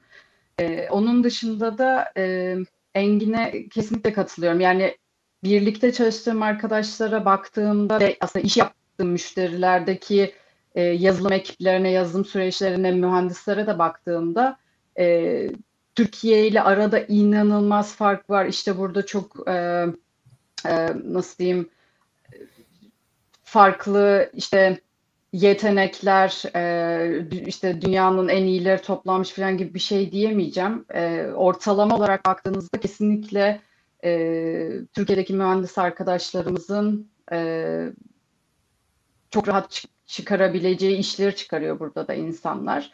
E, ya o anlamda hani kesinlikle şey yani e, kıyaslama yapıldığında burada çalışan insanların e, bir farkı ya da ekstra bir yeteneği olduğunu düşünmemekle birlikte hatta problem çözme konusunda, e, pratiklik konusunda da e, burada gördüğüm işte Türk mühendis arkadaşların çok çok daha e, iyi olduğunu söyleyebilirim. Yani e, özellikle problem olduğunda projede çözülmesi gereken bir daha önce karşılaşılmamış bir sıkıntı olduğunda e, pratik zekamızı ortaya koyuyoruz bence. Daha hızlı e, aksiyon alıyoruz diyorsun. Kesinlikle. Peki. Yani sağ olasın. Şimdi Volkan sana devam edelim abi. Şimdi e, hani ben dedim mühendislik ülkesi gibi gerçekten Almanya. Şimdi e, sen doğrudan hani Almanlarla beraber de çalışıyorsun. E, e, nedir baktığın zaman çalışma ortamı, kullandıkları teknoloji, teknik gelişim, zenginleşme, e, çalışana değer verme vesaire ya da sistematik e, nasıl gözlemliyorsun? Hı hı. Ya önce direkt e, soruya cevap vererek başlayayım. E, ülkemize göre daha çok mesleki değer gördüğünüzü düşünüyor musunuz? Ve iş ortamının daha sosyal olduğunu söyleyebilir misiniz? E, ya üzülerek evet daha fazla değer gördüğümüzü söyleyebilirim. Yani bu ne kadar objektif olacak bilmiyorum ama son çalıştığım veya son çalıştığım birkaç şirketle e, karşılaştırarak gideceğim. E, yani öncelikle şeyden bahsedeyim. E, evet, e, yeterince mesleki olarak e, tatmin gördüğümü söyleyebilirim. Onun dışında insani olarak da e, değer gördüğümüzü söyleyebilirim. Özellikle bu Covid döneminde e, insanların yaz, yalnızlaşması ve eve kapanmasından dolayı biraz daha e, hani ruh sağlığı üzerinden aksiyon almaya başladı şirket. E, mental e, sağlığınızı korumak için e, danışmanlıklar vesaire gibi birkaç program aktive edildi. Bunları görmek gerçekten güzel. Yani Türkiye'de gördüğüm işte bu insan kaynaklarının yaptığı anketler vesairelerin Türkiye'de hikaye burada gerçekten bir aksiyon almanın bir parçası e, olarak kullandıklarını e, direkt deneyimlemek de ayrıca üzücü. E, yani bir yandan güzel. Burada bunun bir parçası olup bu alınan aksiyonları direkt gözlemleyebilmeniz ayrıca güzel bahsettiğim gibi. Onun dışında mesleki tatmine gelirsem yani şöyle karşılaştırıyorum. Son e, Delivery çalıştığım 3 e, yılın ilk bir yılını şöyle e, baz alırsam e, burada deneyimlediğim işte teknolojik gelişme vesaire sanırım Türkiye'de son çalıştığım şirketin bir 3-4 yılına e, denk geliyor gibi görünüyor. Onu ya e, çünkü ya herkes e, böyle up to date e, son teknoloji steklerini kullanmak istiyor ama bir şekilde bir kısıtlar var. Birileri taş koyuyor. Burada ama e, yani bir değişiklik yapmak istiyorsanız e, yani şu teknoloji siteyi kullanacağım işte bundan bundan dolayı diye yani ikna ederseniz e, gerisi kolay. Onun dışında sadece ikna etme kısmı biraz e, yani sizin becerinize kalıyor. Onun dışında e, ayrıca yani 40'tan fazla ülkede e, kullanılıyor sanırım bizim ürünler. E, yani bu kadar fazla insana dokunmak hani e, yaptığınız uygulamanın e, direkt olarak insanlara e, etki görmek de ayrıca bir e, mesleki tatmin sağlıyor diye e, diyebilirim. Onun dışında e, ya Evren de bahsetti, daha önce de bahsedildi bu e, eğitim vesaire konuları. E, Bizde de aynı şekilde bir eğitim platformu var. Yani Udemy'nin e, business versiyonu artı e, ekstra başka e, online eğitimlerin olduğu bir platform var. Buradan bütün e, uygulamalara, e, derslere ücretsiz erişim sağlayabiliyorsunuz. Bunun dışında e, yıllık belli bir bütçeniz oluyor. E, yani bunu Türkiye'den geldikten sonra görmek gerçekten inanılmaz. En basitinden e, Türkiye'de İstanbul'da ücretsiz bir konferansa gitmek için verdiğim e, savaşa bakıyorum. Burada sana işte yıllık 1000 euro, 2000 euro bütçem var nasıl harcıyorsan harca e, gibi yaklaşımı görmek gerçekten üzücü. E, yani onun dışında e, neyden bahsedebilirim? Çok aklıma bir şey gelmedi şu an. E, aşağı yukarı aklımdaki her şeye e, dokundum diyebilirim. Mühendislik kısmına gelirsem e, yani Deliveroo çok uluslu bir şirket. Yani neredeyse 40 ülkede yaklaşık bir ofisi var. E, 4 ülkede de global e, tek hub'ı var. E, bir tanesi de yakın zamanda İstanbul açıldı. E, şöyle güzel bir tarafı oluyor benim için. Şu an dünyada herhangi bir yerdeki teknoloji ekibiyle mühendislik ekibiyle e, herhangi bir sorun olduğunda veya soru olduğunda direkt olarak etkileşim içindeyim. Yani oradaki bir sorunu çözmeye yardımcı olabiliyorum. Bu noktada iyi. Yani e, neler yaptıklarını, onların bir problemi sizin nasıl etkileyeceğini vesaire e, kestirmeniz gerekiyor ve bunları e, sürekli bir göz önünde bulundurmanız gerekiyor. İş yaşam dengesine bakarsak burada e, mesai 8 saat, e, öğle yemeği, e, öğle arası 1 saat yani yine totalde 9 saat ama 8 saat üzerinden e, iş e, çalışma süresi hesaplanıyor. Ve 5 gün çalışıyorsunuz. Yani Türkiye'deki gibi en son çalış, daha doğrusu çalıştığım tüm firmalarda sanırım 42,5 saat üzerinden hesaplanıyordu ve izin aldığınızda cumartesi günü de e, izninizden düşünüyordu. Burada öyle bir şey yok. İşe başladığınız günden itibaren e, 6 hafta izniniz var ve bu 6 haftayı blok olarak kullandığınızda kimse e, serzenmiyor. Ya şöyle yapsak bir hafta alsan da iki haftayı birkaç ay sonra alsan da vesaire gibi bir şey değil. O hakkınız ne zaman isterseniz blokluyorsunuz ve 6 hafta boyunca sizi kimse rahatsız etmiyor. Bunu görmek gerçekten e, ya, üzücü mü diyeyim, inanılmaz mı diyeyim. E, benim için e, ga- gayet keyif verici bir şey. E, onun dışında yani mesainiz bittikten sonra ben offline oluyorum dediğinizde veya ofisten çıktığınızda sizi e, kimse aramıyor. E, şöyle bir sorunumuz var vesaire diye. E, yani büyük şirketlerde işte Amazon'da, Google'da, Facebook'ta vesaire de benzer e, pra- pratikler vardır. E, nöbetçi oluyor o gece için ve o gün için. E, ilk sorunu onlar karşılıyor ve onlar çözmeye çalışıyor. Yani bütün ekibi bu tarz problemlerden koruyor. E, bu da ayrıca e, benim için keyif veren bir e, çalışma tarzı. E, kısaca böyle bahsedebilirim. Teşekkürler. Sağ olasın. Aklıma gelen başka şeyler varsa benim değinmediğim onları da ayrı Yok şey e, bence gayet güzel. E, zaten hani e, ilerleyen sorularda şey yaparız. Bilmiyorum hani şu an katılımcıların durumu ne? Bizim açımızdan hani dost muhabbeti olduğu için saatin çok önemi yok da tabii hani katılımcı sayısı artıyor mu düşüyor mu onu bir, ben takip edemediğim için bir şey demeyeceğim ama benim açımdan gayet keyifli bir sohbet. Şey şöyle, Ümit tekrar hoş geldin. Pardon şöyle abi. bir şey var da bende. Biraz önce Alman e, mühendisliğinden falan bahsettik. Daha doğrusu ondan bahsetmem istedim de ona değinmedim. ee, yani genel merkezde çalışıyorum. Ee, sanırım teknoloji ekiplerinden en Alman ekipte çalışan benim. Ee, ekip 10 kişi, sadece 3'ü Alman. Birisi o yüzden yani Alman ekolünden falan bahsetmek biraz zor ama e, gerçekten çalışan arkadaşlar bütün odak noktalarını çalışırken ona veriyorlar ve kapattıklarında o iş o gün bitiyor onlar için. Biz bunu pek hala yani benim için hala yapılabilir bir şey değil. Gün içinde işte kendi kendime kaytardığım zamanlarda e, e, ya akşam telafi etme ihtiyacı hissediyorum. O yüzden hani daha tam o Alman ekolüne giremedim diyebilirim.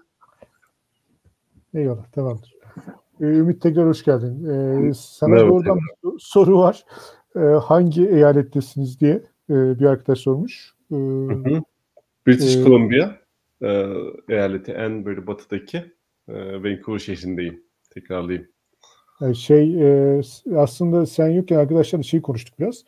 Şimdi bu e, son itibariyle gitme gerekçelerinden e, biri de aslında e, mesleki tatmin ya da işte hı hı. teknik potansiyelin bir şekilde gerçekleyebileceği bir alan bulma ya da işte teknik gelişim, mesleki gelişim. E, ve aslında baktığın zaman hani nitelikli bir üretim ve üretimin bir parçası haline gelme. Öte evet. yandan da işte nitelikli ya da e, bir şekilde e, mühendislik seviyesi daha yüksek bir kadroyla beraber çalışma. Şimdi bu e, genel itibariyle hani giderkenki motivasyon olabiliyor en azından evet. e, mühendislerde. Bu mesela ne kadar karşılık buldu sende? Yani açıkçası böyle, başta da söylemiştim. Bu benim için de bir motivasyondu açıkçası yurt dışına gelmekteki. E, çünkü Türkiye'de gerçekten de e, iyi bir eğitim alıyoruz. Hani baktığımda üniversitelerde aldığımız eğitimlerden nazaran iyiydi. e, şimdi karşılaştırdığımda ama daha sonradan e, iş hayatında e, kendinizi çok ciddi anlamda geliştirme fırsatı bulamıyorsunuz. E, şu an e, 4 yıldır Amazon'da çalışıyorum. Dediğim gibi e, buradaki sistemler gerçekten büyük sistemler. E, ve buradaki problemler de bir şekilde çözümü de e, gittikçe zorlaşıyor açıkçası. Yani bizim e, sistemsel olarak düşündüğünüzde e, Amazon'un e, saatlik işte yaklaşık 160 milyon e, şey e, muhasebe kaydı düşüyor. 160 milyon civarında saatlik 160 milyon civarında bir muhasebe kaydı düşüyor ve bu muhasebe kaydını bizim aslında bir şekilde e, çok kısa bir zaman içinde e, yarım saat 45 dakika içinde e, işleyip e, gerekli e, finansal raporlar oluşturulması gerekiyor ve ciddi bir e, teknik bir problem var ve e, ya, yaptığınız herhangi bir sisteminde e, yani hani highly scalable olması gerekiyor ve e, birçok alanda e, çalışan mühendisleri de göz önünde bulundurduğumuzda e, çok yetkin mühendislerle birlikte çalışma fırsatı bulabiliyorum. Ne gibi bir çözüm oluştursam da e, o insanla çok yetkin mühendislerle birlikte e, problemi tartışabiliyoruz. E, sunduğum öneriyi tartışabiliyorum. Ve daha sonra e, bunu ciddi anlamda e, bir mühendisliğin gerektirdiği en önemli şeylerden birisi ölçümdür. Ve metriklerle e, takip ediyoruz ve sistemi daha da geliştirmeye ya da e, yaptığımız işlemlerin e, canlıdaki e, etkisini e, gözlemleyebiliyoruz. Tabii bu pratikler Türkiye'deki geliştirme yazılım şeylerinde çok fazla e, uygulanmıyordu açıkçası. E, ama burada e, ne iş yaparsanız yapın onu takip etmeniz gerekiyor. Metriklerle bunu yaptığınız sistemin gerçekten de beklenildiği gibi çalıştığını ve performanslı şekilde çalıştığını e, gözlemlenmeniz gerekiyor. Çünkü bu iki tane ayrı birbirinden ayrı problemler. Bir beklenildiği gibi çalışması gerekiyor, iki performanslı çalışması gerekiyor ve bu ikisini de ciddi anlamda takip ediyor ve herhangi bir problem olduğu takdirde de sistemin kendini tekrardan recover edebilmesini sağlamanız lazım. Ee, ve şimdi yaklaşık 4 yıl 4 yıl boyunca baktığımda bu Amazon'daki deney, Amazon'da çalıştığımdaki deneyim neredeyse benim e, 8 yıl Türkiye'de çalıştığım deneyimden daha fazla diyebilirim. Daha çok şey öğrendim. E, ve e, daha büyük sistemlerde çalışma fırsatı buldum. E, bundan sonra da öyle devam edecek diye düşünüyorum. Yani bu, bu eğer ben e, direkt mezun olur olmaz buraya gelmiş olsaydım eminim e, şu anki e, bulunduğum noktadan çok çok daha ileride olurdum diye düşünüyorum. Teşekkürler abi. Gayet açıklayıcı oldu. Şimdi e, aslında Seda biraz giriş yapmıştı. Bence oradan devam edelim. Şimdi teknik tarafını biraz konuştuk e, ya da işte mesleki tarafını konuştuk çalışma yaşamına ilişkin. Şimdi herhalde yurt dışındaki e, en sorunlu e, şey mevzu sosyal yaşama ilişkin. E, bunu hani böyle dost doğru söyledim ama dediğim gibi hani e, en azından benim kaldığım sürede yaşadığım en temel problem buna ilişkindi. Zaten e, chatte de arkadaşların e, yazdıklarından bir tanesi buna ilişkindi. Şimdi e, sosyal yaşam e, noktasında nasıl ilerliyor? Ne yapıyorsunuz, ne ediyorsunuz? Ama bu soru özellikle kadın arkadaşlara biraz da şey üzerinden de soracağım. Hani kadın kimliğiyle yaşamı da e, kıyasladığınızda Seda zaten oraya girmişti. Hani e, e doğrudan e, sorularda da vardı o yanlış hatırlamıyorsam işte e, iş dışında nasıl bir sosyal yaşamınız var? E, o e, en azından hani memlekette uzaktasınız. Burada tabii şey ana dil etkisi de bence önemli bir etki. Ve ana dilinde konuşamıyor olma hali. E, mesela duygusal paylaşım açısından da söylüyorum. E, bu bir boşluk yaratıyor mu? Bunu bir şekilde başka şeylerle doldurabiliyor musunuz? E, dediğim gibi hani nasıl ki çalışma yaşamında size verilen değer e, tartışması yaptık. Benzer şekilde hani sosyal yaşamda böyle bir şey söz konusu mu? Ee, buna şey de katabiliriz. Hani biraz fazla uzattım belki ama örneğin Almanya'da ben biraz şeyi hissetmiştim. İçselleştirilmiş bir aslında ırkçılık hali de var. İşte e, Oya da mesela e, Avrupa'da endişe ettiğini söyleyerek oraya girmişti. Neyse bu kapsamın bütününü biraz da toparlamak adına da e, bu soruların hepsini bir arada soruyorum. Ee, hepinizden dinliyorum. Seda senle başlayalım. Seni zaten kesmiştim. Buradan devam edelim. Ee, şöyle Taylan, sosyal yaşamdan bahsedecek olursak benim sosyal yaşamım genellikle iş çevresinde dönüyor. Ee, hani az önce arkadaşların da anlattığı gibi aslında iş ortamı biraz sosyal. Ee, ya şöyle ben de aslında burada başka şirketleri tecrübe etmedim. Geldiğim şirkette çalışıyorum ortamda 3 yıl olacak.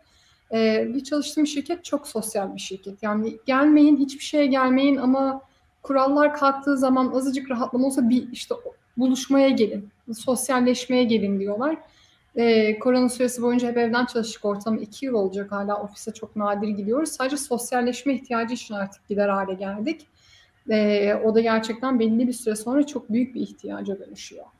E, diğer tarafta e, yani benim bulunduğum bölge hem şu an yaşadığım bina ve çevresi e, hem Amsterdam'da çok merkezi bir yerde kalıyor olmam hem şi, bu çalışım şirketin çok böyle e, pek çok e, başka ülkeden çalışanların olmasından dolayı dille ilgili de bir bariyer aslında şöyle en azından burada Hollandaca ile ilgili bir başka problem yaşamadım. Etrafındaki herkes en azından İngilizce konuşuyor. Böyle bir yerdeyim. Çok fazla ayrımcılık açısından e, buranın e, lokal halkına e, maruz kalmadım.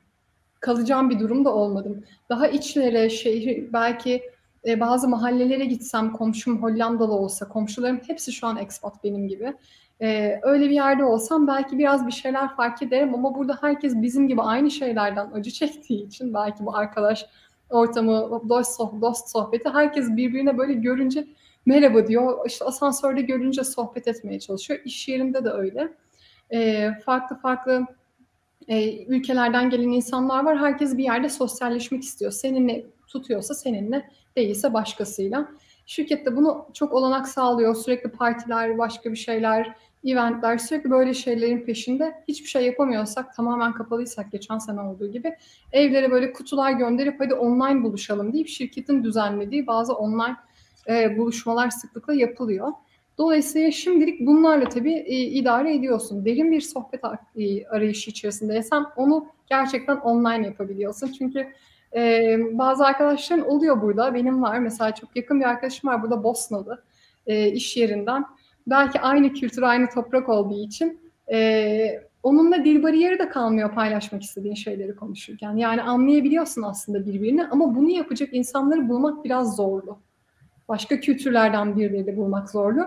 E, o yüzden benim tecrübem en azından sosyalleşme ve bu ihtiyaç doğrultusunda böyle oldu.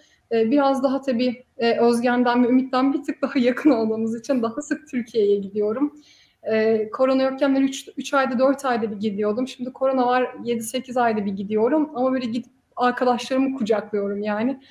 E, o ihtiyacı ben öyle gideriyorum. Bunun da her zaman yani kolay kolay da olacak bir şey olduğunu düşünmüyorum. Çünkü belki burada 5-10 yıl, 20 yıl yaşasam burada da kendi hayatını kurduktan sonra böyle bir şey mümkün olabilir. E, kadın olarak yaşamak nasıl? Çok güvende hissediyorum. İstediğim saatte sokağa çıkıyorum. Kaldı ki Amsterdam çok da güvenli bir şehir değil. Yani Avrupa şehirlerine baktığımız zaman burası da gerçekten ya en azından yakınındaki diğer şehirlerden daha belalı bir şehir gibi. Nereye baksam böyle bir şeyler görüyorum haritalarda. Ama sokaklarda rahat yürüyorum. Gece çıkıyorum, gündüz çıkıyorum. Ya buraya ilk geldim dedim ki insanlar ne kadar rahat giyiniyor. Bu kıyafetlerle bisiklete biniyorsun. Türkiye'de canını okurlar.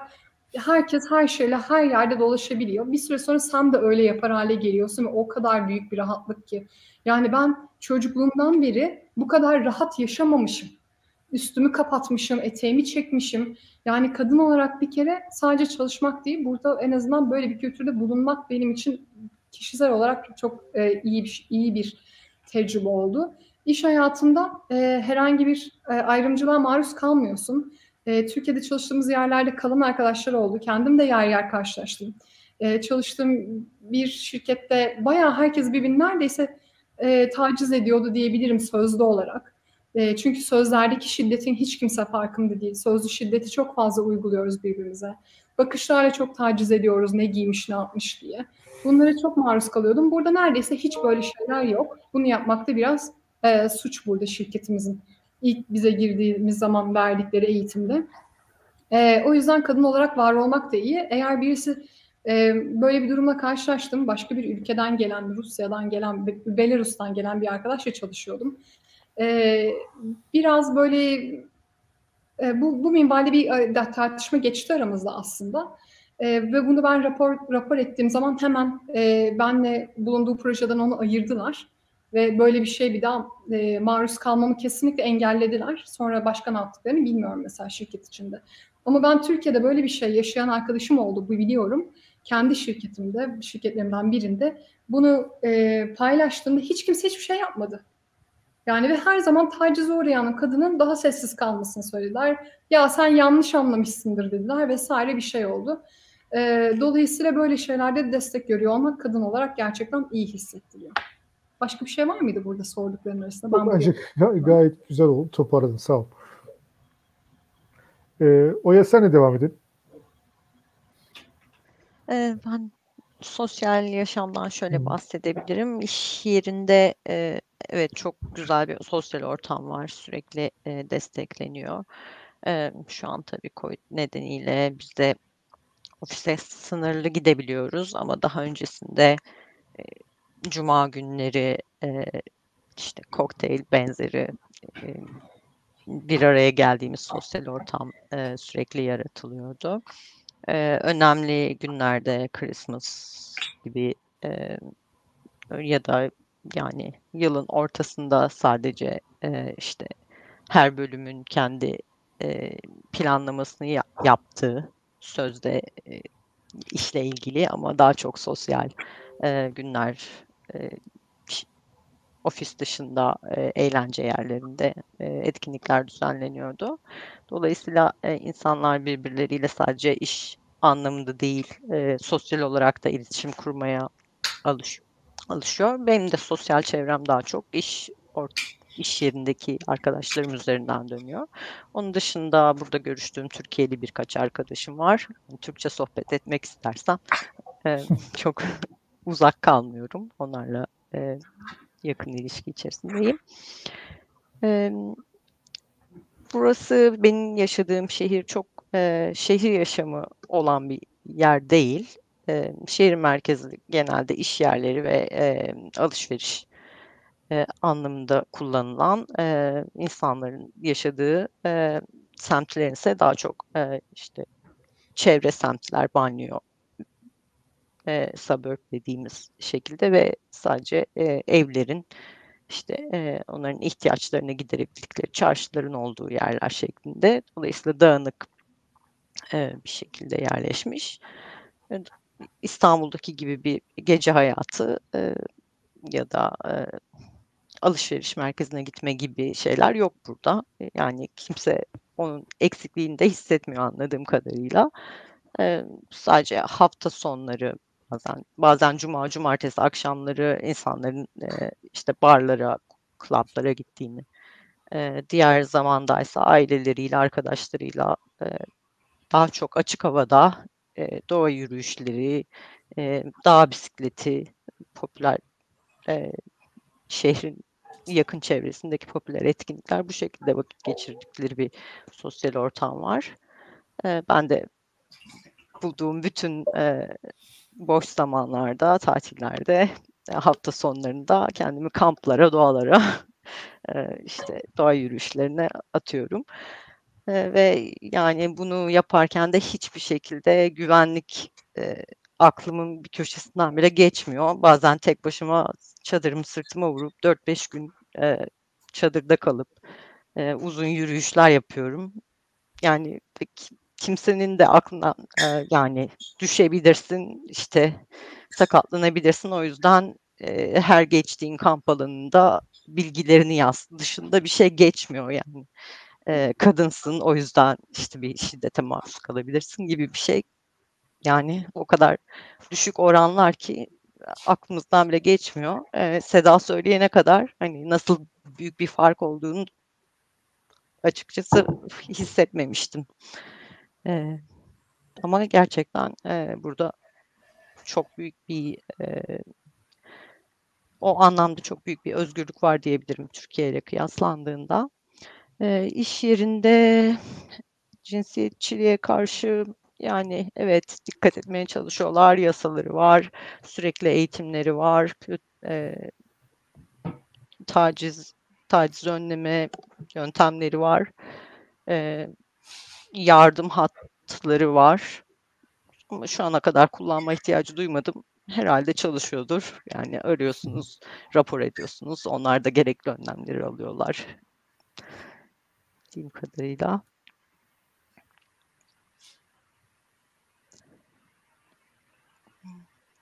Tamam herhalde. Covid dönemine girdik mi? Oradan bahsedeyim Şeyden mi? Şeyden bahsedebilirsin. Evet aslında onu ben de oradan sormadım ama sonuçta sosyal yaşamı doğrudan etkileyen bir şeydi. Nasıldı? Ee, orada e, Covid dönemi nasıl geçti? Ee, kısaca ondan Aslında geçmedi, bizde devam ediyor. Biz şu anda e, yarı kapalı, yarı açık. E, sınırlarımız kapalı. Ben Türkiye'ye sadece bir kez gelebildim. E, tabii 24-25 saat bir yolu sürekli çekmek de istemezsiniz. Ama senede bir olsun gelebilmek isterdim. Sınırlar bir kapandı, bir daha açılmadı. Sadece karantinayla işte özel e, sebeplerle yurt dışına gitmesi gereken diplomatlar olsun, onun gibi e, insanlar olsun, hı sporcular, işte milli sporcular vesaire onlar girip çıkabiliyorlar. Onlar da yani her geldiklerinde 14 gün karantina otelinde kalarak e, çıkabiliyorlar. Dolayısıyla biz e, burada açık hava da hapis gibiyiz ülke içerisinde. E, onun dışında da e, her e, vaka göründüğünde yani e, içeride halk arasında e, vakalar tespit edildiğinde tekrar kapandık. E, sokağa çıkma yasağı sadece marketler açık, iş yerleri duracak. Evden çalışabilenler çalıştı tabii ki biz bilgisayar mühendislerinin öyle bir sorun yok zaten herhangi bir yerden çalışabiliyoruz. Dolayısıyla biz evden çalıştık. Bu arada da sosyal toplantılarımıza devam ettik iş yerindeki. Ee, yine yani işte kameralarımızı açıp e, iş yerinde ya da e, cuma günleri barda buluşuyoruz öğle, öğle yemeklerinde onu yapar gibi e, online buluştuk. E, son son iki aydır sanırım sınırlı olarak açıldı. E, restoranlar, barlar açık. Gidip buluşabiliyoruz ama ofise gitmiyoruz. Çünkü e, sınırlı sayıda insan kapalı alanda bulunabiliyor. 100 kişi gibi bir sınır var.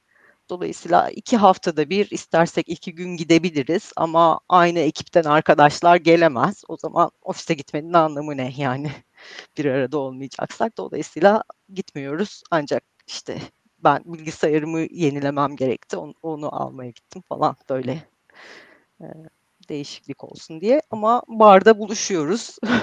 konuşuyoruz. E, sosyal toplantılarımıza devam ediyoruz. Haftada bir, iki haftada bir. E, e, sınırlar da sanırım bir dahaki sene e, başında açılacak gibi bir söylenti var. Ama e, bir taraftan da aşılama oranının yüzde doksanı geçmesini bekliyorlar.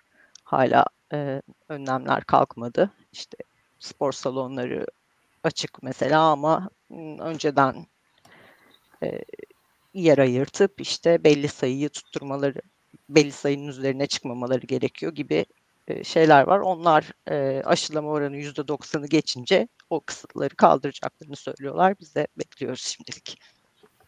Anladım. Güzel. Sağ olasın. Umarım tez zamanda açılır. Ee, sen de memlekete gelirsin. Umarım. Evrim senle devam edelim. Bir kadın olarak e, yaşamak nasıl? Onun dışında İngilizlerle e, muhabbet oluyor mu? Hı hı. Ee, şöyle Seda'nın da dediği gibi aslında benim de sosyal çevrem e, iş ortamından. Özellikle bir önceki şirketimde e, pandemi öncesinde yani iki e, yıl önce e, her hafta mutlaka cumaları işte ya ofis içerisinde ya ofis dışında bir etkinlik. İşte burada İngilizlerin pub kültürü, bar kültürü çok e, gelişmiş zaten. Hani her e, mahallede, her sokakta zaten birkaç tane e, pub'a mutlaka denk geliyorsunuz. İş çıkışı işte sosyalleşmek, e, birkaç saat işte iş dışında e, sohbet edebilmek adına haftalık öyle e, buluşmalar oluyordu. Onun haricinde e, ayda bir ya da işte iki ayda bir e, ofis dışında işte bowling turnuvası gibi ya da e, açık alanda çeşitli aktiviteler falan e, yapılıyordu pandemi öncesinde tabii ki. E, pandemi esnasında da bu olay şeye döndü. E, o yanında de, dediği gibi daha online e, işte e, etkinlikler. E, yine bir araya gelip işte online olarak sohbet ediyoruz. E, ama genel olarak hani baktığımızda e, sosyal hayata tabii ki e, Türkiye'de işte edindiğimiz o derinlikli 15-20 yıllık dostların yerini e, tabii ki hiçbir şey e, hiç kimse tutamıyor. E, burada o tarz e, bilmiyorum en azından benim e, öyle bir dostluk e, edinme şansım henüz olmadı. Tabii ki burada da yine e, bir araya geldiğim çok bir araya gelmekten keyif aldığım Türkiye'li arkadaşlarım var. E, 3-4 kişi de olsa onlarla işte bir araya geliyoruz. Hani hem kendi dilinde konuşmuş olmak hem yaptığın işte esprilerin, şakaların e, anlaşılıyor olması ya da işte bir e, sinema filmini, Türkiye'den bir sinema filmini eleştirme, eleştiriyor olmak ya da bir şarkı ile ilgili sohbet ediyor olmak bunlar insanın e, özlediği şeyler. E, yani ben 32 yaşında yurt dışına çıktım, buraya taşındım. Ee, eğer ki hani üniversite döneminde gelseydim muhtemelen ya da işte master için gelseydim ortamım, e, sosyal hayatım bambaşka olurdu eminim ki. Hani çünkü e, düşünüldüğünde buradaki insanlar da iş dışında çok sosyalleşme ortamınız olamıyor. Çünkü e, insanlar da üniversiteden, çocukluktan ya da işte e, bir şekilde okul döneminden ya da iş hayatından edindiği arkadaşlarıyla görüşüyorlar aslında. Yani e, sıfırdan böyle çok e, büyük işte sıkı dostluklar edinmek çok kolay olmasa gerek e, diye düşünüyorum. Tabii pandemiyle bu olay iyice e, zorlaştı. Hepimiz evlerde olduğumuz için. E, hani dostlarımı özlemiyorum desem yalan olur. Hakikaten onların o e, şeyi e, boşluğunu, şeyini, yerini hissediyorsunuz ama neyse ki e, sık sık online görüşmelerle, işte WhatsApp görüşmeleriyle Türkiye'deki arkadaşlarla da hani bir şekilde e, iletişimde kalıyoruz. E, bir kadın olarak e, olayı ele, ele alacak olursam e, kesinlikle hani bir kadın olarak buraya gelmenin e, hayatımda verdiğim en doğru kararlardan biri olduğunu düşünüyorum. E, gecenin hani kaçında istersem sokağa çıkabiliyorum. Kulağımda kulaklık, e, bir parkın içinden gecenin köründe yürüyebiliyorum. Tedirgin olmadan, arkama bakmak zorunda kalmadan. Bir taksiye bindiğimde e, işte beni dolandıracak, ne tarafa götürecek, işte bilmediğim bir yere mi götürecek ya da taksinin plakasını bir arkadaşıma mesaj atmak zorunda kalmıyorum. E, insanlar iş ortamında şimdiye kadar herhangi bir mobbingle e, karşılaşmadım.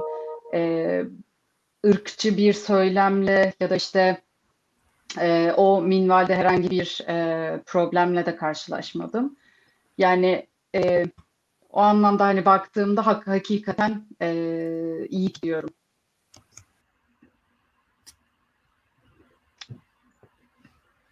Başka var mı bir soru? Atladım. Sanırım yoktu benim aklıma gelen. Ee, aynı anda şimdi tekrar... Ben, ben yanlışlıkla herhalde çıktım. Tekrar. Ya muhabbetimi sıktıysa söyleyebilirsin öyle direkt. Yanlışlıkla yurt, dışına çıktım ben. Şimdi, ya bu muhabbetiniz çok güzel. E, muhabbetiniz çok güzel. Şey, sadece hani izleyenleri yorduk mu oradan çok emin değilim. Yoksa biz e, hani bu muhabbeti sabaha kadar da devam ederiz. Bence çok da hoş e, de, devam ediyor. E, şimdi benim aslında sormak istediğim birkaç tane soru var ama e, bence şey bir bu turu devam ettirelim. Sonra da yavaştan bence toparlayalım. Çünkü dediğim gibi e, en azından izleyen kitleyi e, yormamak için bir de bir yandan da sizlerin e, vaktini daha fazla bulmak için özellikle çalış, çalışanları uyarın e, sanmıyorum henüz daha uyandıklarını yavaştan uyanmaya başlamışlar herhalde Yeni Zelandılar.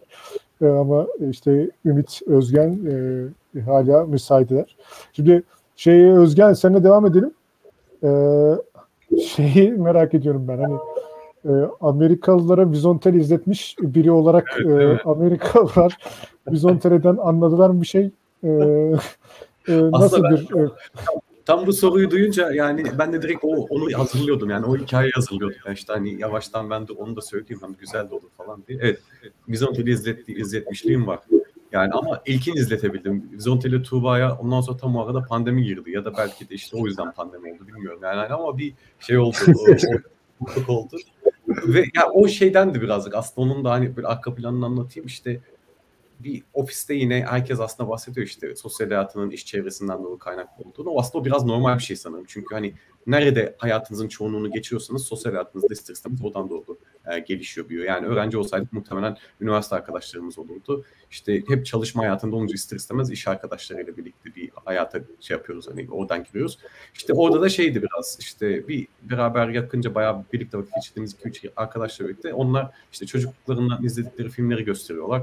İşte ben hiç Star Wars izlememişim. Belki hani Türkiye'den Türkiye'de bile yadırganacak bir şey belki Star Wars izlememiş olmak. İşte onlar bana Star Wars izletiyorlar. Sonra aynı zamanda şey hissettiler. Ya biz sana o kadar şey izlettik. Sen ne izliyordun? Yani onu da sen bize izlettin. Ondan sonra adı dedim yani hani çok bunun cevabı çok basit. Vizontele var. Vizontele açtık izledik. Ama güzeldi. Altyazı falan da İngilizce vardı. Yani şey böyle tabii İngilizce altyazısının çok iyi olmamasından kaynaklı durdurup böyle bir açıklama şey bakın hani bunun böyle bir altyapısı var o yüzden bize Covid geliyor şöyle oluyor böyle oluyor diye bir hali vardı. Yani işte aslında o da biraz da sosyal hayatın ne kadar böyle zorlu olduğunu da göstergesi. Yani tırmalaya tırmalaya bir sosyal hayat ediyor diyorsunuz. Yani işte vizonteli izlet zorla. İşte efendim oraya davet et, bunu davet et. Çünkü neticede benim en azından zorlandığım şey şuydu. İnsanlar çalışma hayatından önce de bir hayatları vardı ve özellikle sosyal hayatları da odan da oluşmuş. Yani okumuşlar, okullarında arkadaşları var. Onlarla birlikte takılıyorlar. Elbette çalıştıkları iş hayatlarından doğru bir arkadaşlıkları var. Elbette o arkadaşlığın içine siz de girebiliyorsunuz ama temel olarak o derin arkadaşlar bazen denk gelmek zor oluyor. Çünkü siz de belirli bir yaşta buraya gelmişsiniz. Onlar da belirli bir yaşta bu zamana kadar bir sosyal hayat oluşturmuşlar. Her zaman o hayatlar kesişmeyebiliyor. Ve bundan kaynaklı benim özellikle deneyimim biraz tırmalaya tırmalaya bir sosyal hayat olması. İşte hani gerekirse kendini zorlayıp bir yere gitmek, hani işte bir etkinlik bulup gitmek, işte çok da aslında hoşlanmadığım bir etkinliği sırf insanlarla birlikte bir arada vakit geçirmek için yapmak. Yani çünkü bu da başka kapılar açabilen şeyler falan. Hani bunlar e, sıkça yaptığım, yapmaya çalıştığım şeyler. Hani sosyal hayatın e, şeyi geliştirmek anlamında. Ama tabii ya belirli bir süre sonra bu kadar çok tırmalayınca da ister istemez bir arkadaşlık ediniyor, ediliniyor. Ama tabii yani bir eksiklik elbette var. Hani bahsediliyor işte. Yani kendi kültüründen biriyle konuşmak.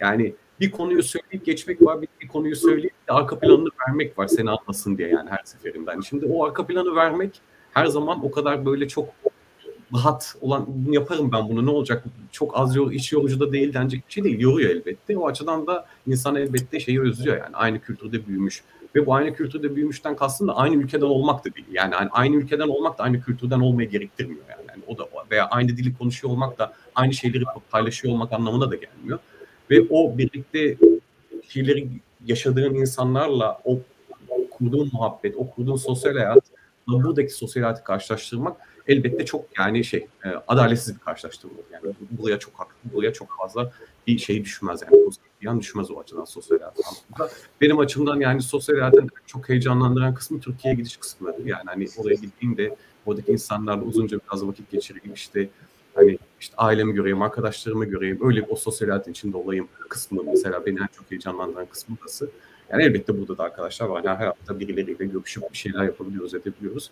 Ama dediğim gibi yani elbette yani böyle parlayan bir yıldız diyemem ama yani ölmüyoruz da ama işte arada bir yerde arada bir yerde devam ediyoruz. Yani tabii bu Covid'in de bir mevzusu var. Hani Covid'e de değmiş olayım burada. Yani hani Covid dediğimiz şey elbette yani her yerde sanırım sosyal hayatı etkiledi beni en çok mutlu eden şey siz de çok görüşemiyorsunuz artık yani hani fiziksel olarak. O biraz böyle ben kendimi şey hissediyorum en azından. O iyi en azından onlar da görüşmüyor falan. falan. Tabii bu şakası yani. yani görüşün.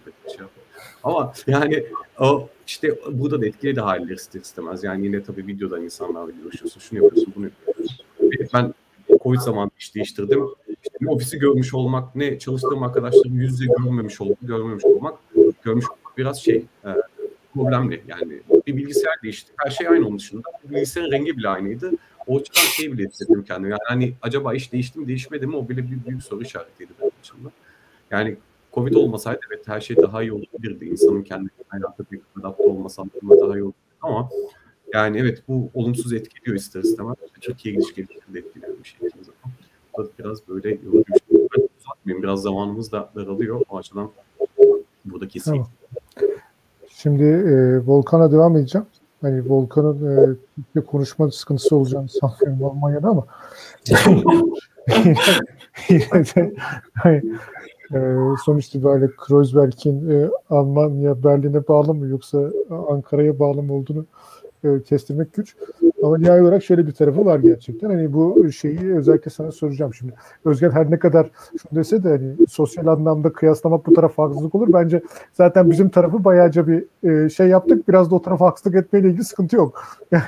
En azından biraz durumu dengelemek için.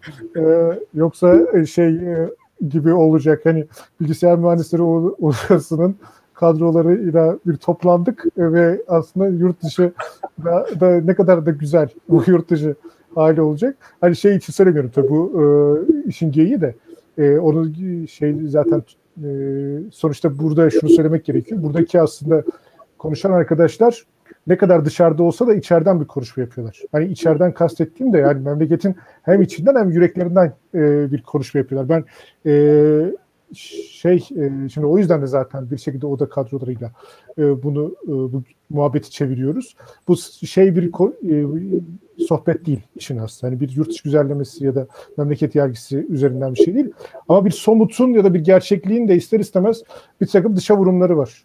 E, bu işte e, kadın meselesinde, memleketin siyasi atmosferinde vesaire kendisini karşılık bulan ya da işte e, burada da sıkça ifade edilen işte bir çalışan olarak ne kadar değerli hissettiğiniz ya da bir insan olarak ne kadar değerli hissettiğiniz. Şimdi bunların da ister istemez bir takım e, memleketimizin e, içerisinden geçtiği süreçle ilgili e, ortaya koyduğu olumsuz bir takım yanıtlar oluyor.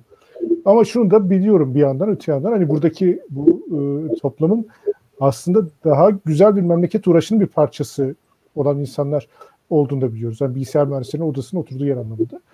Ee, şimdi o anlamda da hani burada neyi özlediklerini az çok biliyorum. Hani o yüzden de bir şekilde onu da sormak istedim. Hani sosyal olan dediğimiz şey sadece bir arkadaşlık ilişkisi değil aslında bir toplumsal ilişki bütünlüğü. Yani baktığınız zaman için kültürüyle vesaire şu bu, o kültür dediğimiz şey de entelektüel birikim değil. Bir yaşanmışlık vesaire üzerinden şekillenen bir şey.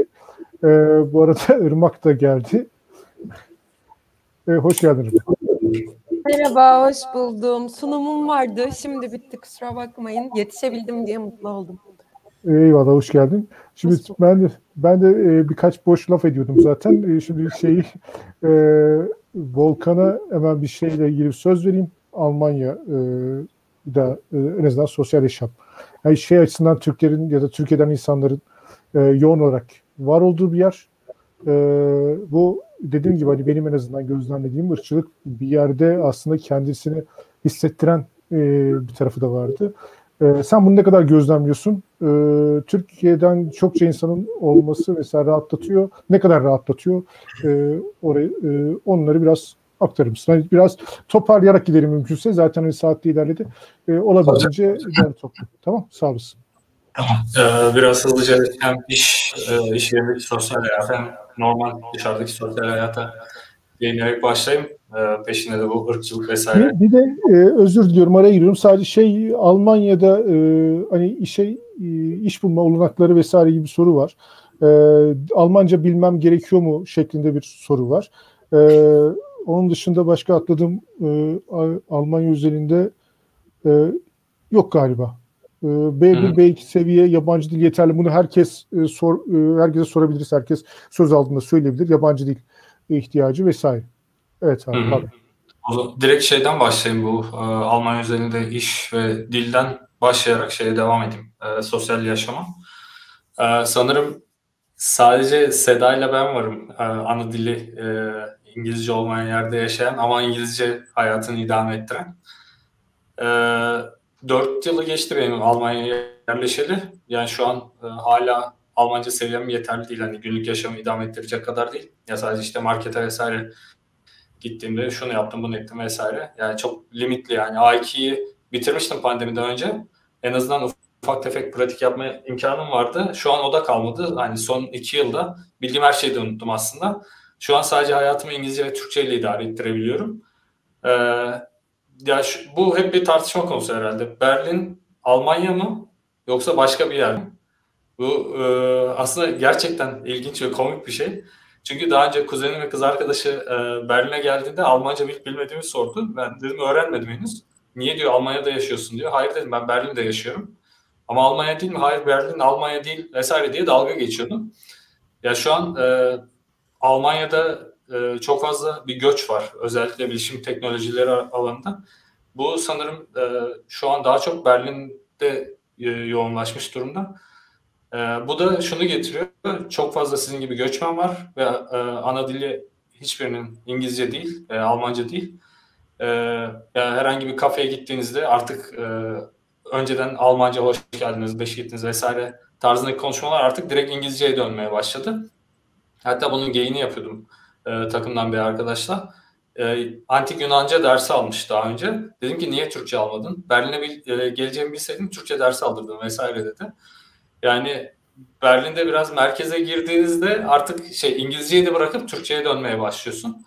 E, ya gerçekten garip bir durum diyebilirim. Yani e, soruya tam karşılık olarak Almanca bilmeden Berlin üzerinde Berlin'de e, çalışabilirsiniz. E, Birçok şirketin çalışma dili zaten İngilizce.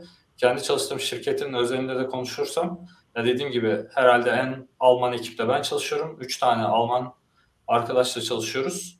Yani yüzde otuz Alman ekibimin. E, e, ya şirket genelinde de e, bayağı bir yurt dışından gelen özellikle Brezilya, e, Hindistan e, Türkiye'den bayağı popülasyon olduğunu biliyorum. Onun dışında yani şeyde herhalde kapsamış oldum. Yani bayağı bir e, bu ara hala e, bilişim teknolojileri veya yazılım sektöründe hala e, eleman arayışı hat safhada diyebilirim. Onun dışında sosyal hayata dönecek olursam yani e, çok farklı değil diğer arkadaşların bahsettiği gibi. Yani şirketler takımların kaynaşmasına hatta departmanların kaynaşmasına bayağı bir e, önem veriyor. Bu pandemiden önce yüz yüzeydi. İşte ayda bir takım e, toplaşması veya işte belli zamanlarda tüm departmanın e, katıldığı oyunlar, yemekler vesaire tarzında e, devam ediyordu. Hatta buna özellikle e, önem gösterdiklerini düşünüyorum. Çünkü bir iki kere ben katılmamıştım ve e, direktörden uyarı almıştım niye katılmıyorsun vesaire diye. E, bunu aslında zorluyorlar. E, sizi ekibin bir parçası olduğunuzu hissettirmeye çalışıyorlar ve hani biz bir ekibiz, beraber eğleneceğiz, beraber iş yapacağız. Hatta bu oyunların e, veya işte takım toplantılarının olduğu zamanlar genelde cuma öğleden sonra oluyor. Hatta benim işim var diyen arkadaşlar vardı. Onlara da kızmışlardı. İşi bırak, oyuna gel vesaire diye. Bu çok keskin hani e, iş yapıyorsak beraber yapıyoruz, oyun oynuyorsak beraber oynuyoruz diye. E, bu, bu iş iş yerinde sosyalleşme kısmı yani çok farklı değil aslında dışarıda da. Ee, yani daha çok anlaşabildiğim, yani hani Berlin özelinde konuşuyorum. Dediğim gibi çok fazla Berlin'de herhalde bu süreçte Alman bulmak biraz e, zor olmaya başladı. Yani eski şirketten görüştüğüm arkadaşlar da şu anki şirketten görüştüğüm arkadaşların büyük bir çoğunluğu da e, benim gibi göçmen olanlar ve artı e, Türkiye'den gelen arkadaşlar. Hatta benim biraz da şansım var. Ee, Türkiye'den yakın arkadaşım da buraya göçtü. Onunla da sık sık görüşüyorum. Daha önce beraber çalıştığım ve sürekli görüştüğüm arkadaşım. Yani onun dışında e, çok sıkıldığımda yani kendi köyüme 45 dakika uzaklıkta yani uçakta 45 dakika uzaklıkta e, halamlar ve işte amcamlar, kuzenlerin vesaire olduğu bir ortama girebiliyorum. Hani daha da bundan bunaldıysam 3 saat sonra Ankara'da e, bulunma şansım oluyor. O yüzden biraz daha şanslıyım galiba. Hatta işte görüşmeden önce de e, onun şakasını falan yapıyorduk. İşte iki ay önce Ankara'daydım. Beş hafta falan kaldım işte yaz tatili boyunca. E, bir üç hafta sonra geleceğim. Yine bir üç haftalık periyotta yine Türkiye'de bulunacağım. Bunun elimin altında olması da e, bayağı keyifli. Hani çok bir sosyalleşme değil de hani özlem giderme kısmı oluyor. Ama onun dışında hani e, ya Berlin'desiniz. Türkiye'yi özletecek pek bir şey yok. Ee, hani rakı içmek istiyorsanız işte arkadaşlarınızla çıkıp rakı içebiliyorsunuz. Tayland geldi, Tayland'a gittik. Yani çok bir farkı yoktu. Ee, onun dışında yani market alışverişi vesaire e, hani damak tadınıza uygun her şeyi burada da bulabiliyorsunuz. Ya tek sıkıntı e, benim fark ettiğim yani Türkiye'den gelen arkadaşların Türklerle ya çok görüşmek istemeyişi ya da biraz daha limitli bir e, e, kontak kurma çabası var gibi hissediyorum. Onun dışında yani e, genel olarak yani dediğim gibi e, yarı yarıya bir e, şeyim var şu an. Yabancı işte benim gibi göçmen olan artı Türkiye'li arkadaşlarla e, ya sosyalleşmeye çalışıyoruz tabii. Bu e, bunda epey bir bu Covid döneminde de olduğumuzdan dolayı bayağı bir e, birbirimize gelip gitme durumu da bayağı azaldı diyebilirim. Ee, bir de şeyi sorayım sana. Ee, özellikle bürokrasiyle ilgili soru gelmiş. Ee, onu biraz sana sorayım. Hani bir e, böyle e, şey, hastalık yani sağlık hizmeti işte e, bir şekilde göçmenlik vesaire o devlet bürokrasisi ne kadar hızlı işliyor ağır mı işliyor şeyi de biliyoruz çünkü sağlık hizmetini yurt dışına giden arkadaşlarımız daha çok Türkiye'ye geldiklerinde gideriyor vesaire gibi örneklerle de karşılaşıyoruz. Bu hani Almanya üzerinde nasıl? Herkese soramasak bile sana sormuş olurum en. Hı hı. Ya bürokrasi ya genel olarak bayağı yavaş. Yani bir e, ikamet kaydı için bile birkaç ay sonra randevu bulabiliyorsunuz. Bayağı sıkıntılı.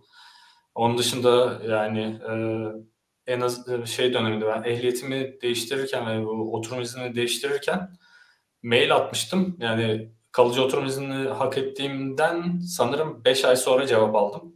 E, oturum iznimi değiştirebilmek için bayağı yavaş ilerliyor. Ya bunda Covid'in de etkisi var dediler ama genel olarak bir yavaşlık var zaten. Ee, bir de yani bütün işleri mektup üzerinden götürüyorlar. Bunun da bir yavaşlığı var galiba. Çok bir dijitallik yok. Bunun nedeni de e, daha önceki işte bu e, Hitler dönemindeki verilerin e, daha doğrusu ya bir ayrımcılık yapmasından korktukları için biraz daha dijital e, veri toplamaya biraz e, herhalde mesafeli davranıyorlar. Bu noktada da şeye değinebilirim. Bu ırkçılıkla karşılaştım mı? Ee, yeri gelmişken tekrar bürokrasiye döneceğim. Ya bugüne kadar çalıştığım iki, iki şirket vardı. Dört yıldan uzun bir süredir buradayım. Yani ırkçılığa e, ırkçılıkla herhangi bir şekilde karşılaşmadım ama bu demek değil ki yok. Almanya'nın geçmişi bu noktada bayağı e, kötü ve e, yani hala da bunun tartışmaları devam ediyor. E, bunun üzerine yasalar vesaire çıkarıyorlar. Ama e, etraftan bence bu e, şeyle de alakalı. Çalıştığımız sektörle. E, çalıştığımız sektörde bizim gibi göçmenlerle çalışıyoruz. Başka ülkelerden gelenlerle. Ve e, buna e, değinmek biraz zor sanırım. Bir de e, şirket üzerinde konuşursam bu tarz ırkçılık, ayrımcılık vesaire üzerine e, daha önce sanırım Oya bahsetmişti. Benzer e, şirket içi yasalar var ve hotline tarzı işte bir süreci başlattığınızda e, ben ırkçılığa uğradım işte şu şu nedenler vesaire diye bunu durduramıyorsunuz sanırım çözülene kadar. Ta CEO'ya kadar e, gittiğini söylediler. Hatta bir ara geyine şey dedim. E, bir test etsek mi acaba ne oluyor falan diye. Bu yangın alarmı testi gibi. Biraz şey yaptı arkadaş yapma. Yani CEO'ya kadar gidiyor. E, hani durduramıyorsun bu süreç başladığında diye. Hani toparlayacak olursam ben karşılaşmadım ama bu yok değil. Etraftan çok fazla duyuyorum. Yani Berlin özelinde de duyuyorum. İşte okuldan olsun, işte, insanların çalışma ortamı ne olsun. E, herhalde biraz daha e, az göçmenin olduğu yerlerde biraz daha fazla bu tarz şeylerle karşılaşılabiliyor veya merkezden biraz daha dışarı çıktığınızda. E, şeye tekrar döneyim, bürokrasiye. Evet doktora gitmek biraz sıkıntı. Direkt hastaneye gidemiyorsunuz. E, aile doktorunuza veya lokal kliniklere gitmeniz lazım. Doktor muayenelerine, muayenehanelerine. Oradan randevu almanız gerekiyor. Ya bazı e, dallarda sanırım birkaç ay sonra randevu verme gibi bir sıkıntı oluyor. İşte MR çektireceksiniz vesaire. 3 ay sonra randevu bulabiliyorsunuz. Veya işte ortoped doktor arıyorsunuz. 2 ay sonra boşluğu var vesaire gibi sıkıntılar var. Ya bunu Türkiye'de evet en çok özlediğim şey bu oluyor. Bir de Türkiye'de biraz daha ahbap çavuş ilişkisi olduğu için yani çok fazla bunu e, aradan e, e, şey yapıp kısa yolunu bulup çözebiliyorsunuz. Burada pek o yok. Hani e, randevuları doluysa dolu. Bir de sanırım e, limitli zamanlarda çalışıyorlar gördüğüm kadarıyla. İşte sabah e, 8 ile 10 arası e, yeni hasta alıyorlar. E, 10 akşam işte 4 ile 5 arası vesaire gibi böyle limitli aralarda hasta aldıkları için. Bir de ayrıca bazı doktorlar yeni e, hasta almıyor. Sadece var olan hastalarına e, ya hizmet veriyorlar. Onun dışında hani sizi kabul edecek bir de doktor bulmanız gerekiyor. Evet yani Almanya'nın bir gerçeği progresi var. Ev e, bir tane çekmeyeceğim. Kağıtlarla dolu maalesef. Evet. E, orada şeyi görmüştüm ben posta kutusunun e, bu kadar yoğun kullanıldığını tahmin etmiyordum. Çok yoğun posta kutusu kullanılıyor. Yani her şey yazılı olarak geliyor. Ya her sabah her akşam kontrol ediyorum ya şeyi. E, evet, artık. o gayet şey bir işleyiş, rutin bir işleyiş haline gelmiş. Şimdi Engin Ümit sizi unutmuş değilim. Sadece Irmak geldi. Irmak'a bir söz vereyim. Hani şey zaten yavaştan toparlayacağız. Birkaç soru var. Onları toplu olarak soracağım. Son söz niteliğinde sizden alacağım ama e, şimdi e, bir başka hani yaptıklarıyla e, göğsümüzü kapartan arkadaşımızdır Irmak. E, şimdi şey e, o yüzden de hani kendisini kendi anlatsın. Irmak e, ne zaman gittin? Hangi üniversitedensin? Nerede yaşıyorsun?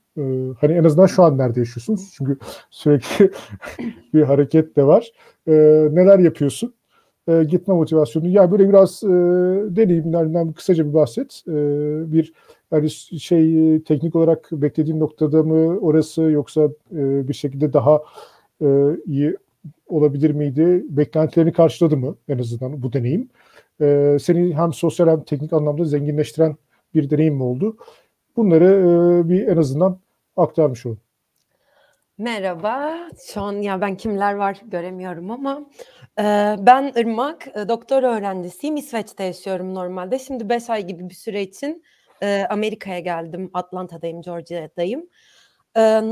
Yani ikisi çok farklı deneyimler. Robotik alanında çalışıyorum bu arada. Hani çok kısa bir süre kaldım aslında daha burada. Üçüncü haftam, ikinci haftam bitti daha yeni. Onun için hani direkt farkları belki söylediğim şeyler sonra yanlış çıkabilir ama şu an için gözlemlediğim şey mesela İsveç'te eğitime eğitim için gittim doktora için. İsveç'te eğitime çok daha fazla kaynak harcandığı yönünde kesinlikle. Yani bizim laboratuvarda herhangi bir ihtiyaçtan bahsedildiği anda hoca hiç ikinci kez sormuyor ne için kullanılacağını İsveç'teki laboratuvarımızda. Ama buradaki insanların birazcık daha böyle bütçe kaygısı yaşadığını, işte hocaların ister istemez daha böyle bir şeyleri araştırmak, sormak zorunda kaldıklarını fark fark ettim. O da muhtemelen işte devletin eğitime, üniversitelere ayırdığı bütçenin azlığıyla kaynaklı diye düşünüyorum. Bir de şeyi fark ettim. İsveç'te doktora yapan insanlar çok daha sakinler. Daha böyle akşam oldu mesai bitti artık çıkalım diye çıkabiliyorlar. Burada gerçekten Amerika'da insanların hiçbir mesai kavramı yok. Hafta sonu hafta içi sürekli çalışmaya odaklılar ki yani şey hocalarından gelsin gelmesin böyle bir baskı. Onlar daha bir yarışçı bir kültür içinde hissediyorlar bence kendilerini. Böyle bir fark gözlemlediğimi söyleyebilirim. Onun dışında ya eğitim için gitmek güzel bir şey. Dönmek de güzel olacak muhtemelen. Bakalım benim daha bir senem daha var doktorumun bitmesine. Öyle. Sağ olasın. Şimdi şey, şöyle bir şey oldu tabii. Bence muhabbet çok güzel de artık yavaştan toparlamak da gerekiyor. Şimdi şeyleri konuştuk hani teknik tarafı konuştuk, sosyal tarafı konuştuk. Bir şekilde artıları, eksileri vesaire konuştuk ama nihayet olarak şöyle bir tarafı var. Şimdi bir kere aslında soru şu. Burada da bir arkadaş sormuş dönmeyi düşünüyor musunuz? Hani ben bunu doğrudan dönmeyi düşünüyor musunuz gibi bir yerden sormayacağım ama şimdi e, bir şekilde o bahsettiğiniz e, ya da çerçevesini çizdiğiniz işte nedenselliğini ortaya koyduğunuz bir takım başlıklar var. Şimdi bunların oradan baktığınızda e, mesela memleketten ayrılma gerekçesi olan şeylerin e, memlekete dönme e, noktasında ortadan kalkacağını e, öngörüyor musunuz? Memleket o anlamda nasıl görünüyor? Hani şey e, deneyimlediniz artık e, büyük oranda bir Türkiye'den e, kalkıp bir yabancı memlekete gittiniz. E, oradaki yaşamı, e, oradaki e, teknik e, bir şekilde bilgi birikimi de deneyimlediniz. Şimdi baktığınız zaman hani e, nedir yeri mesela dönme motivasyonu yaratacak ya da böyle bir motivasyon e, var mı? Öyle bir fikriniz var mı? Ya da ne olsa e, döneriz noktasındayız. E, bunu biraz da şey hani kapanışta her birinizin görüşü ya da son sözleri o anlamda etkinliğin almak anlamında soruyorum. Bunu da yanıtlarken bazı arkadaşlar şeyde sormuşlar. İşte çalışma yoğunluğu, yaşam standartı yükselme, ucuz iş gücü olma ya da burada Türkiye'de ucuz iş gücü olma, belki orada da ucuz iş gücü olma e, gibi e, teknik, sosyal, e, mesleki ya da kültürel, e, baktığınız zaman politik e, Türkiye için, ekonomik e, çok e, belki de hani ayrı bir tartışma konusu ya da ayrı bir panel konusu olan bir soru da bu. E, onun da farkındayım. Ama en azından e, bence böyle bir e, kapsamla bitirelim. E, oradan memleket nasıl görünüyor?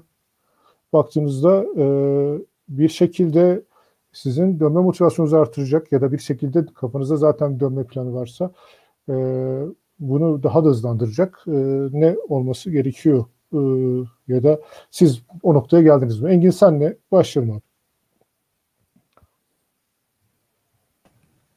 Şimdi ya bu bir birçok parametreyi içerisinde bulunduran bir, bir durum. Şimdi ben geldiğimde zaten siyasi e, e, ortamdan yani, şey, yani tabii e, herkes gibi ben de rahatsızdım. Çok kötüye gidiyordu. Ama asıl şikayetim bu değildi geldiğimde. Büyük ihtimalle dönüşümün de se, şey sebebi bu olmaz. Yani ben bu duruma bile aslında dönebilirim. Ben onun için bir sıkıntı yok. Ama şöyle bir parametre oldu mesela. Burada kadın arkadaşların bahsettiği durum aslında benim eşimde e, yaşandı. Benim eşim mesela şeyi fark etti. Buradaki kadın arkadaşların fark ettiği olayın tamamen aynısını kendisi de fark etti. Daha fazla özgür olduğunu düşünüyor. Şimdi bu tabii olaya yeni bir boyut katmaya başladı. Çünkü o zaman kendisinin bu kadar fazla rahat özgür hissettiği bir ortamdan onu koparmam gerekecek Türkiye'ye geldiğim zaman. Böyle bir boyut da geldi. Onun dışında benim e, kendisi dışındaki tüm koşullarım hala kariyerle alakalı. Yani bu işte özellikle e, e, kur problemi ve benzeri diğer mali sıkıntılar da şu anda e, bu işi zorlaştırıyor. Yani eskiden zorlaştıran pek bir durum yok iken e, şu anda iki ya da üç yeni kısıt eklendi yani. Böyle diyebilirim. Teşekkürler abi. Evrim?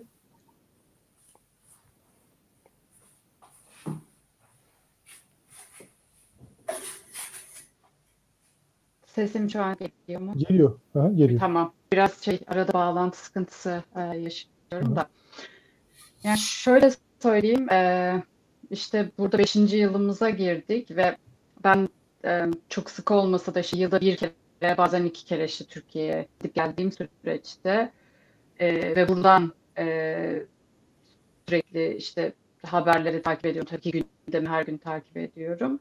E, endişe verici durumun giderek hani arttığını e, gözlemliyorum açıkçası.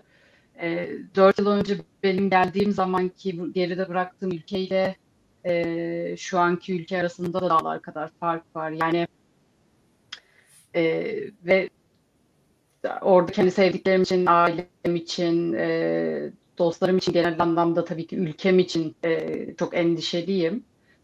E, umudum var mı hani bir şeylerin düzeleceğine dersek açıkçası şu an sanırım ben o umudu e, bayağı yitirmiş bir noktadayım. E, bu nedenle de e, yani yakın gelecekte geriye dönüş gibi bir planım yok açıkçası. Hı hı. E, burada da e, hakikaten çok klişe bir laf olacak ama burada da düzenini gerçekten çok ciddi anlamda oturttuk artık. Buraya alışmak bir süreçti. Şimdi e, e, ülkeye hani ya dönüşle ilgili şu an hakikaten bir şey e, planda yok. E, ama tabii ki gönül ister ki e, yarın bir gün e, her şey çok daha e, farklı bir noktada olursa belki tamamen dönmek değil ama e, dönem dönem işte yılın belli zamanlarını Türkiye'de geçirmek gibi e, bir şeyleri düşünebiliriz. Peki. Ümit, e, bir yandan da şey de e, söyleyeyim. Hani yaşam standartları kıyaslaması vesaire sormuş arkadaşlar. E, yaşam standartları e, Türkiye ile baktığınız zaman hani e, olumlu yönde arttı mı? Tabii yaşam standartı da ayrı bir şeydir. E, oturduğumuz e, evin metrekaresi de olabilir. E, aldığımız ücret de olabilir. Ya da bambaşka hani, e, iş dışı ya da sosyal alanda o, e, bize kattığı zenginlik olabilir. Ve bu e, dediğim gibi hani çerçevesi geniş de bir şey ama yine de e, onu da dahil ederek e, senin o konudaki düşüncenle yani e, memleketin görüntüsü, sizin dönme motivasyonunuz vesaire. Hı hı. E, açıkçası e, Türkiye dönüş noktasında ben biraz olumsuzum yani dönmeyi çok düşünmüyorum. E, öyle kısadan öyle cevap vereyim. E, çünkü toplum aslında bugünkü iktidarı toplumdaki bir yozlaşmanın bir yansıması olarak görüyorum. Hani ondan bağımsız olarak düşünemiyorum. Dolayısıyla e, toplumda da e, olumlu yönde bir gelişme şu an e, maalesef yok ve çok kısa zamanda da gel- olacağını pek düşünmüyorum. Ondan dolayı da e, siyasi konjektürel olarak çok dönmek mantıklı gelmiyor. Ama e, biraz şu şey tarafında doldurursak ekonomik tarafında Açıkçası e, buradaki e, ekonomik koşullar yaptığımız iş ve aldığımız e, kazançla karşılaştırdığımızda çok daha iyi durumda e, diyebilirim. Yani ekonomik olarak da çok mantıklı görünmüyor Türkiye dönüş yapmak şu koşullar altında. Özellikle yani bu e, kriz gittikçe derinleşecek gibi hani ondan soyutlayarak söylüyorum. E, bu kriz oluşmamış olsa bile e, Türkiye dönüş e, benim açımdan çok mantıklı gelmiyor bu ekonomik koşullar altında. Hani bunun tek gerekçesini oluşturacak şey e, birinci derece aile aile ilişkileridir. Ama onun dışında herhangi bir gerekçeyle e, çok dönmeyi düşünmüyorum. Peki. Özgen?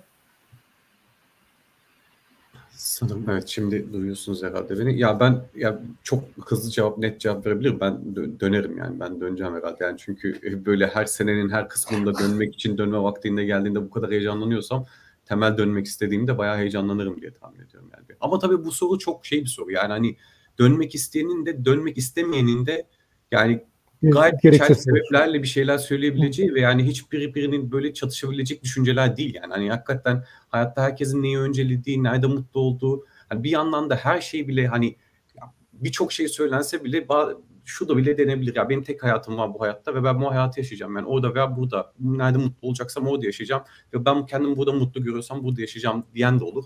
İşte ama ben mutluluğumu başka yerde kurguluyorum diyen de olur. Ya benim açımdan e, yani evet bahsedilen kaygılar, ülke için kaygılar elbette hani geçerli kaygılardır.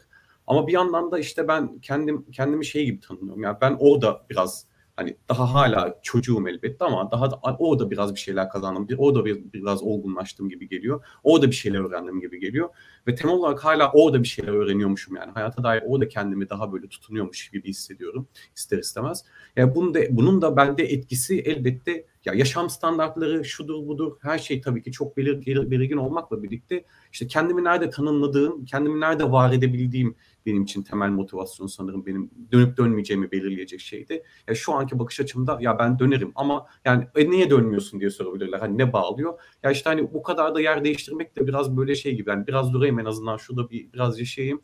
Sonrasında e, hani tamam artık dediğim noktada döneyim gibi bir şeyim var. Ama bugün mesela dönmemi engelleyecek bir şey var mı? Aslında bu sadece biraz daha durayım ve yani bu kadar çabuk dönmeyeyim demekten öte başka bir şeyim yok galiba. Hani beni bağlayan başka bir tarafım yok. Ama yani bu gerçekten çok şey bir soru. Yani e, bu mesela çok özellikle buradaki işte Türkiye'den insanlarla bir araya gelindiğinde falan da çok konuşulan bir. Yani işte döneceğiz dönmeyeceğiz. İşte genelde de muhabbet şey gibi bir ağırlıkla biter. Yok abi nereye dönüyorsun ülkeye baksana falan noktasında. Yok ama yani benim için de işte o ülkeye baksana ne güzel hani yani duruyor işte orada hani noktasına gibi geliyor. Yani elbette olan her şey bir e, e, insanın moralini bozuyor ediyor falan ama benim açımdan da birazcık da şey yani beni var eden yer işte hani birlikte var olabildiğim, insanlarla birlikte var olabildiğim bir yer.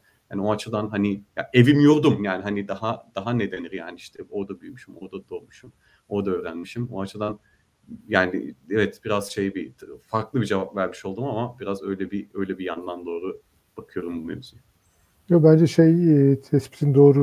E, ben de en azından onu söylerim. Gidenlerin de her zaman bir gerekçesi vardır. Haklı. Evet.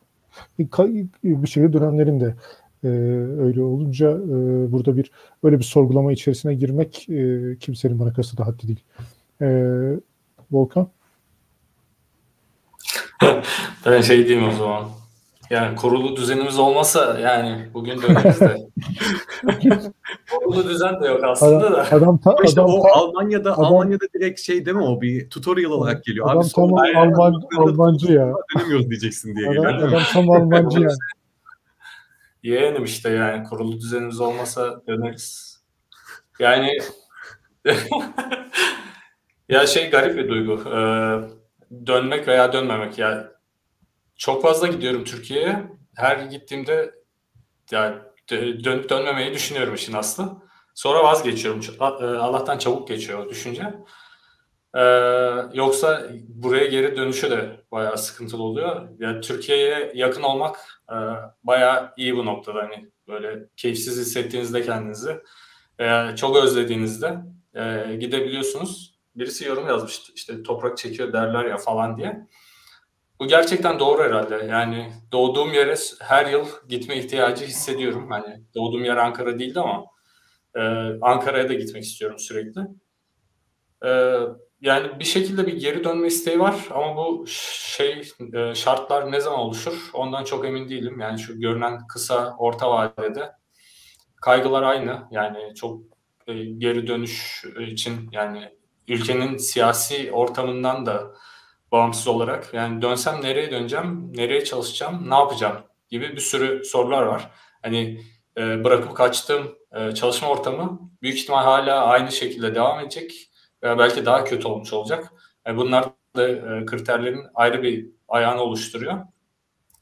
E, onun dışında yani bu e, herhalde Almanya'ya göçle birlikte başlayan veya hayatımıza giren bir olgu hani kesin dönüş vesaire. Aslında böyle bir şey yok. Kesin dönüş diye bir şey. Bugün burada mutlu olmazsın, dönersin e, Türkiye'ye. Baktın orada yine olmuyor. Yine gelirsin. Hani niye birden fazla kere e, yer değiştirmeye veya göç etmeyi kim engelliyor ki? Ya o noktada yani içim rahat. Bugün burada mutsuz olurum. Dönerim Türkiye'ye. Oradan sonra orada mutsuz olduğumu hissederim. Başka bir yere gidebilirim. Ama yani bunun da e, farklı handikapları var. Hani gittiğin yere tekrar uyum sağlamak e, zorunda kalacaksın. Tekrar bir ortamını bulmaya çalışacaksın. Yerini oluşturacaksın. Gibi gibi. Yani ez cümle yani genel kanı olarak herhalde kısa orta vadede yani çok e, dönüş yolu yok gibi. Anladım abi. Sağ olasın. Oya?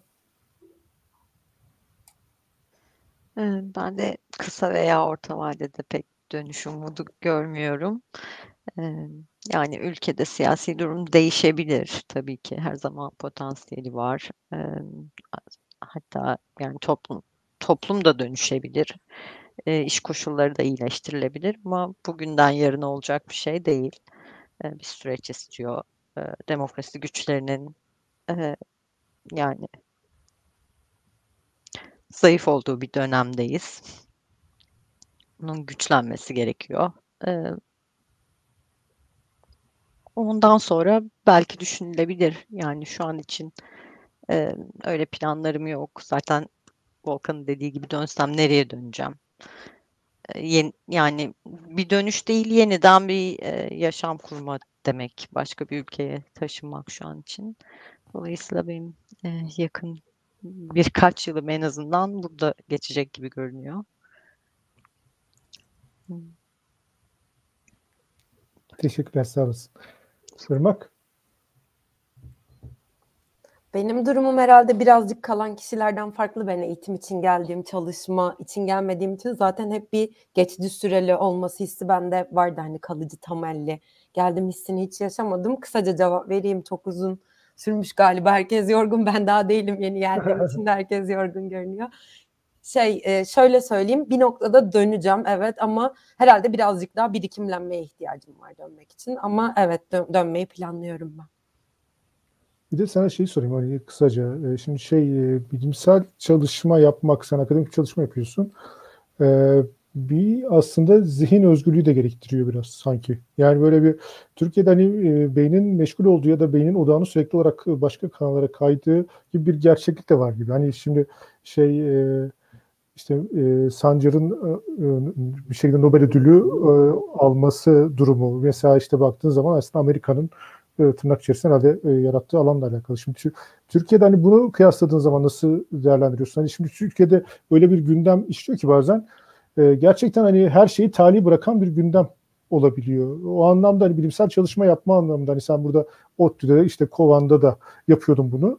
E, bir artı gördün mü? Ya da e, bu dediğim çerçevede bir olumlu bir şey e, e, kazanım elde edebiliyor musun? Söylediğine kesinlikle katıldım. Yani şey daha sakin olunca gerçekten odağınız tek bir şey olabiliyor ve daha verimli bir şeyler üretebiliyorsunuz. Ama Türkiye'de gündem çok hızlı değiştiği için ve ülkenin zaten ne olacağı sizi sürekli kaygılandırdığı için ister istemez bu bilimsel verimliliği de azaltan bir şey. Bir de Türkiye'de hani ona ek olarak da hani ona rağmen zehir gibi akademisyenler var bence Türkiye'de. Ama bu insanlar da maalesef bütçe sıkıntısı çekiyorlar mesela. Yani Türkiye'de bir insanın akademide kalabilmesi için gerçekten idealist biri olması lazım gibi. Yurt dışında doktor öğrencilerine sadece doktor yapmaları için para verilirken Türkiye'de işte asistanlıkla asistanlık bulmaları gerekiyor ya da işte belli burslar TÜBİTAK bursuna başvuruyorlar ama bu da hayat standartlarını belli bir seviyede tutabiliyor ancak yani gerçekten rahat yaşayamıyorlar ama yurt dışında bu anlamda da bir özgürlüğünüz, rahatlığınız olunca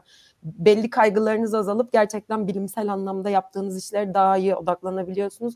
O yüzden yani Türkiye'de gerçekten bu kadar akıllı, bu kadar kendini adamış akademisyenler olmasa bence bu kadarı bile ileri gitmezdi. Gerçekten yurt dışında insanlar kendilerini bir adamışlarsa aynı işi yapmak için on adamış şekilde çalışıyor. Türkiye'de tanıdığım akademisyenler çok saygı duyulası bir şey. Ama keşke bunun için yani bu on çalıştıklarında on karşılığı alıyor olsalar onlara da aynı imkanlar, aynı kafa özgürlüğü, aynı bilimsel olanaklar, istediklerinde öğrenci alabilme imkanları, istediklerinde robot alabilme imkanları gibi imkanlar sunulmuş olsa. Çok sağ ol.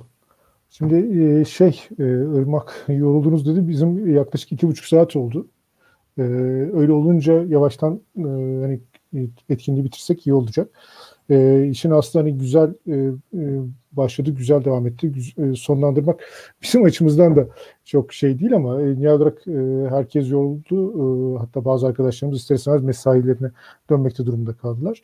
Şimdi ben şunu söyleyeyim hani burada Rıdvan yazmıştı galiba.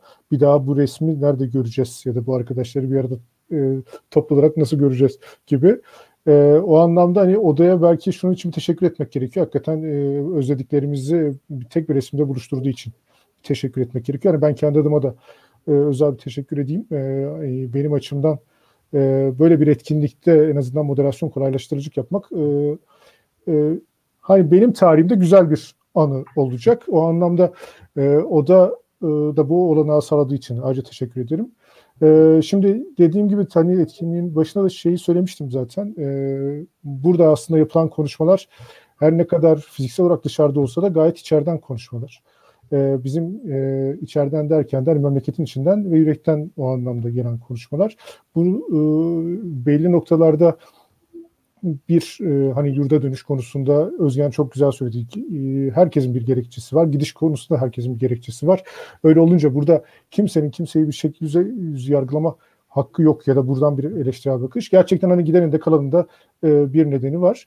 Ama şunu da ben biliyorum. Buradaki e, herkes e, bu memleketin daha güzel olması ve aslında burada sayılan işte kadınların daha özgür olması, mesleğin daha hakkıyla yapılması, çalışanlara değer verilmesi, meslektaşlara değer verilmesi, e, bir şekilde insanın özgür ve kıymetli olduğunu hissettiği bir ülke yaratımı konusunda uğraşan, mücadele eden, düşünen, tartışan insanlar. E, zaten hani bilgisayar mühendisler odası da tam da böyle bir yerde oturuyor. E, ya da böyle bir yer için kuruldu. mesleğimizi hakkıyla yapabileceğimiz, kendimizi özgür, eşit yurttaşlar olarak hissedebileceğimiz bir ülke uğraşının bir parçası olarak. E, bu anlamda da buna dair e, umudun ben e, gitmediğini düşünüyorum. Hep şöyle söylerim zaten. Hani bu memleketin tepesinden güneş eksilmiyor. Öyle olunca aydınlık da bir şekilde öyle ya da böyle bu ülkede kazanacak. E, en azından bu uğraşın parçası, e, bu mücadelenin parçası olmaya e, devam edeceğiz. Ve e, bir şekilde hani o aydınlık e, kendisini de yavaştan yavaştan gösteriyor. Öyle olunca da o umudu e, çok kesmemek lazım. E, çünkü hani ben şu resme baktığımda zaten e, umutsuzluk için bir neden de görmüyorum. Yani en azından karşımdaki yürekleri, zihinleri pırıl pırıl e, bu topraklardan yetişmiş insanların var olduğunuz e, bildiğimiz sürece umut da e, her zaman var olacak. Ben Almanya'da kaldığım sürede şeyi istemiştim. Hani ee, bizim memlekette insanlar duygularınız hep dokunarak gösterir. Sevgiyi de, hırsı da, işte öfkeyi de e, sarılma ve saldırma diyalektiği diyelim buna. Yani e, sevgimizi sarılarak e, işte e, hıncımıza saldırarak gösteriyoruz. Maalesef şu son dönemde o saldırma hali sarılmanın ötesine geçti ama ben inanıyorum ki sarılma halimizin yeniden o kucaklaşma halimizin saldırmayı da yeneceği e, günler de yakın. E, bu anlamda hepinize e, katılımlarınız için, bu güzel muhabbet için, odaya da bu muhabbet olanları bize sağladığı için ve bize katılıp sorularıyla, görüşleriyle katkıda bulunan e, ve bu saate kadar bekleyen e, üyelerimiz, meslektaşlarımız ve katılımcılarımız için e, hep yürekten bir teşekkür ederim.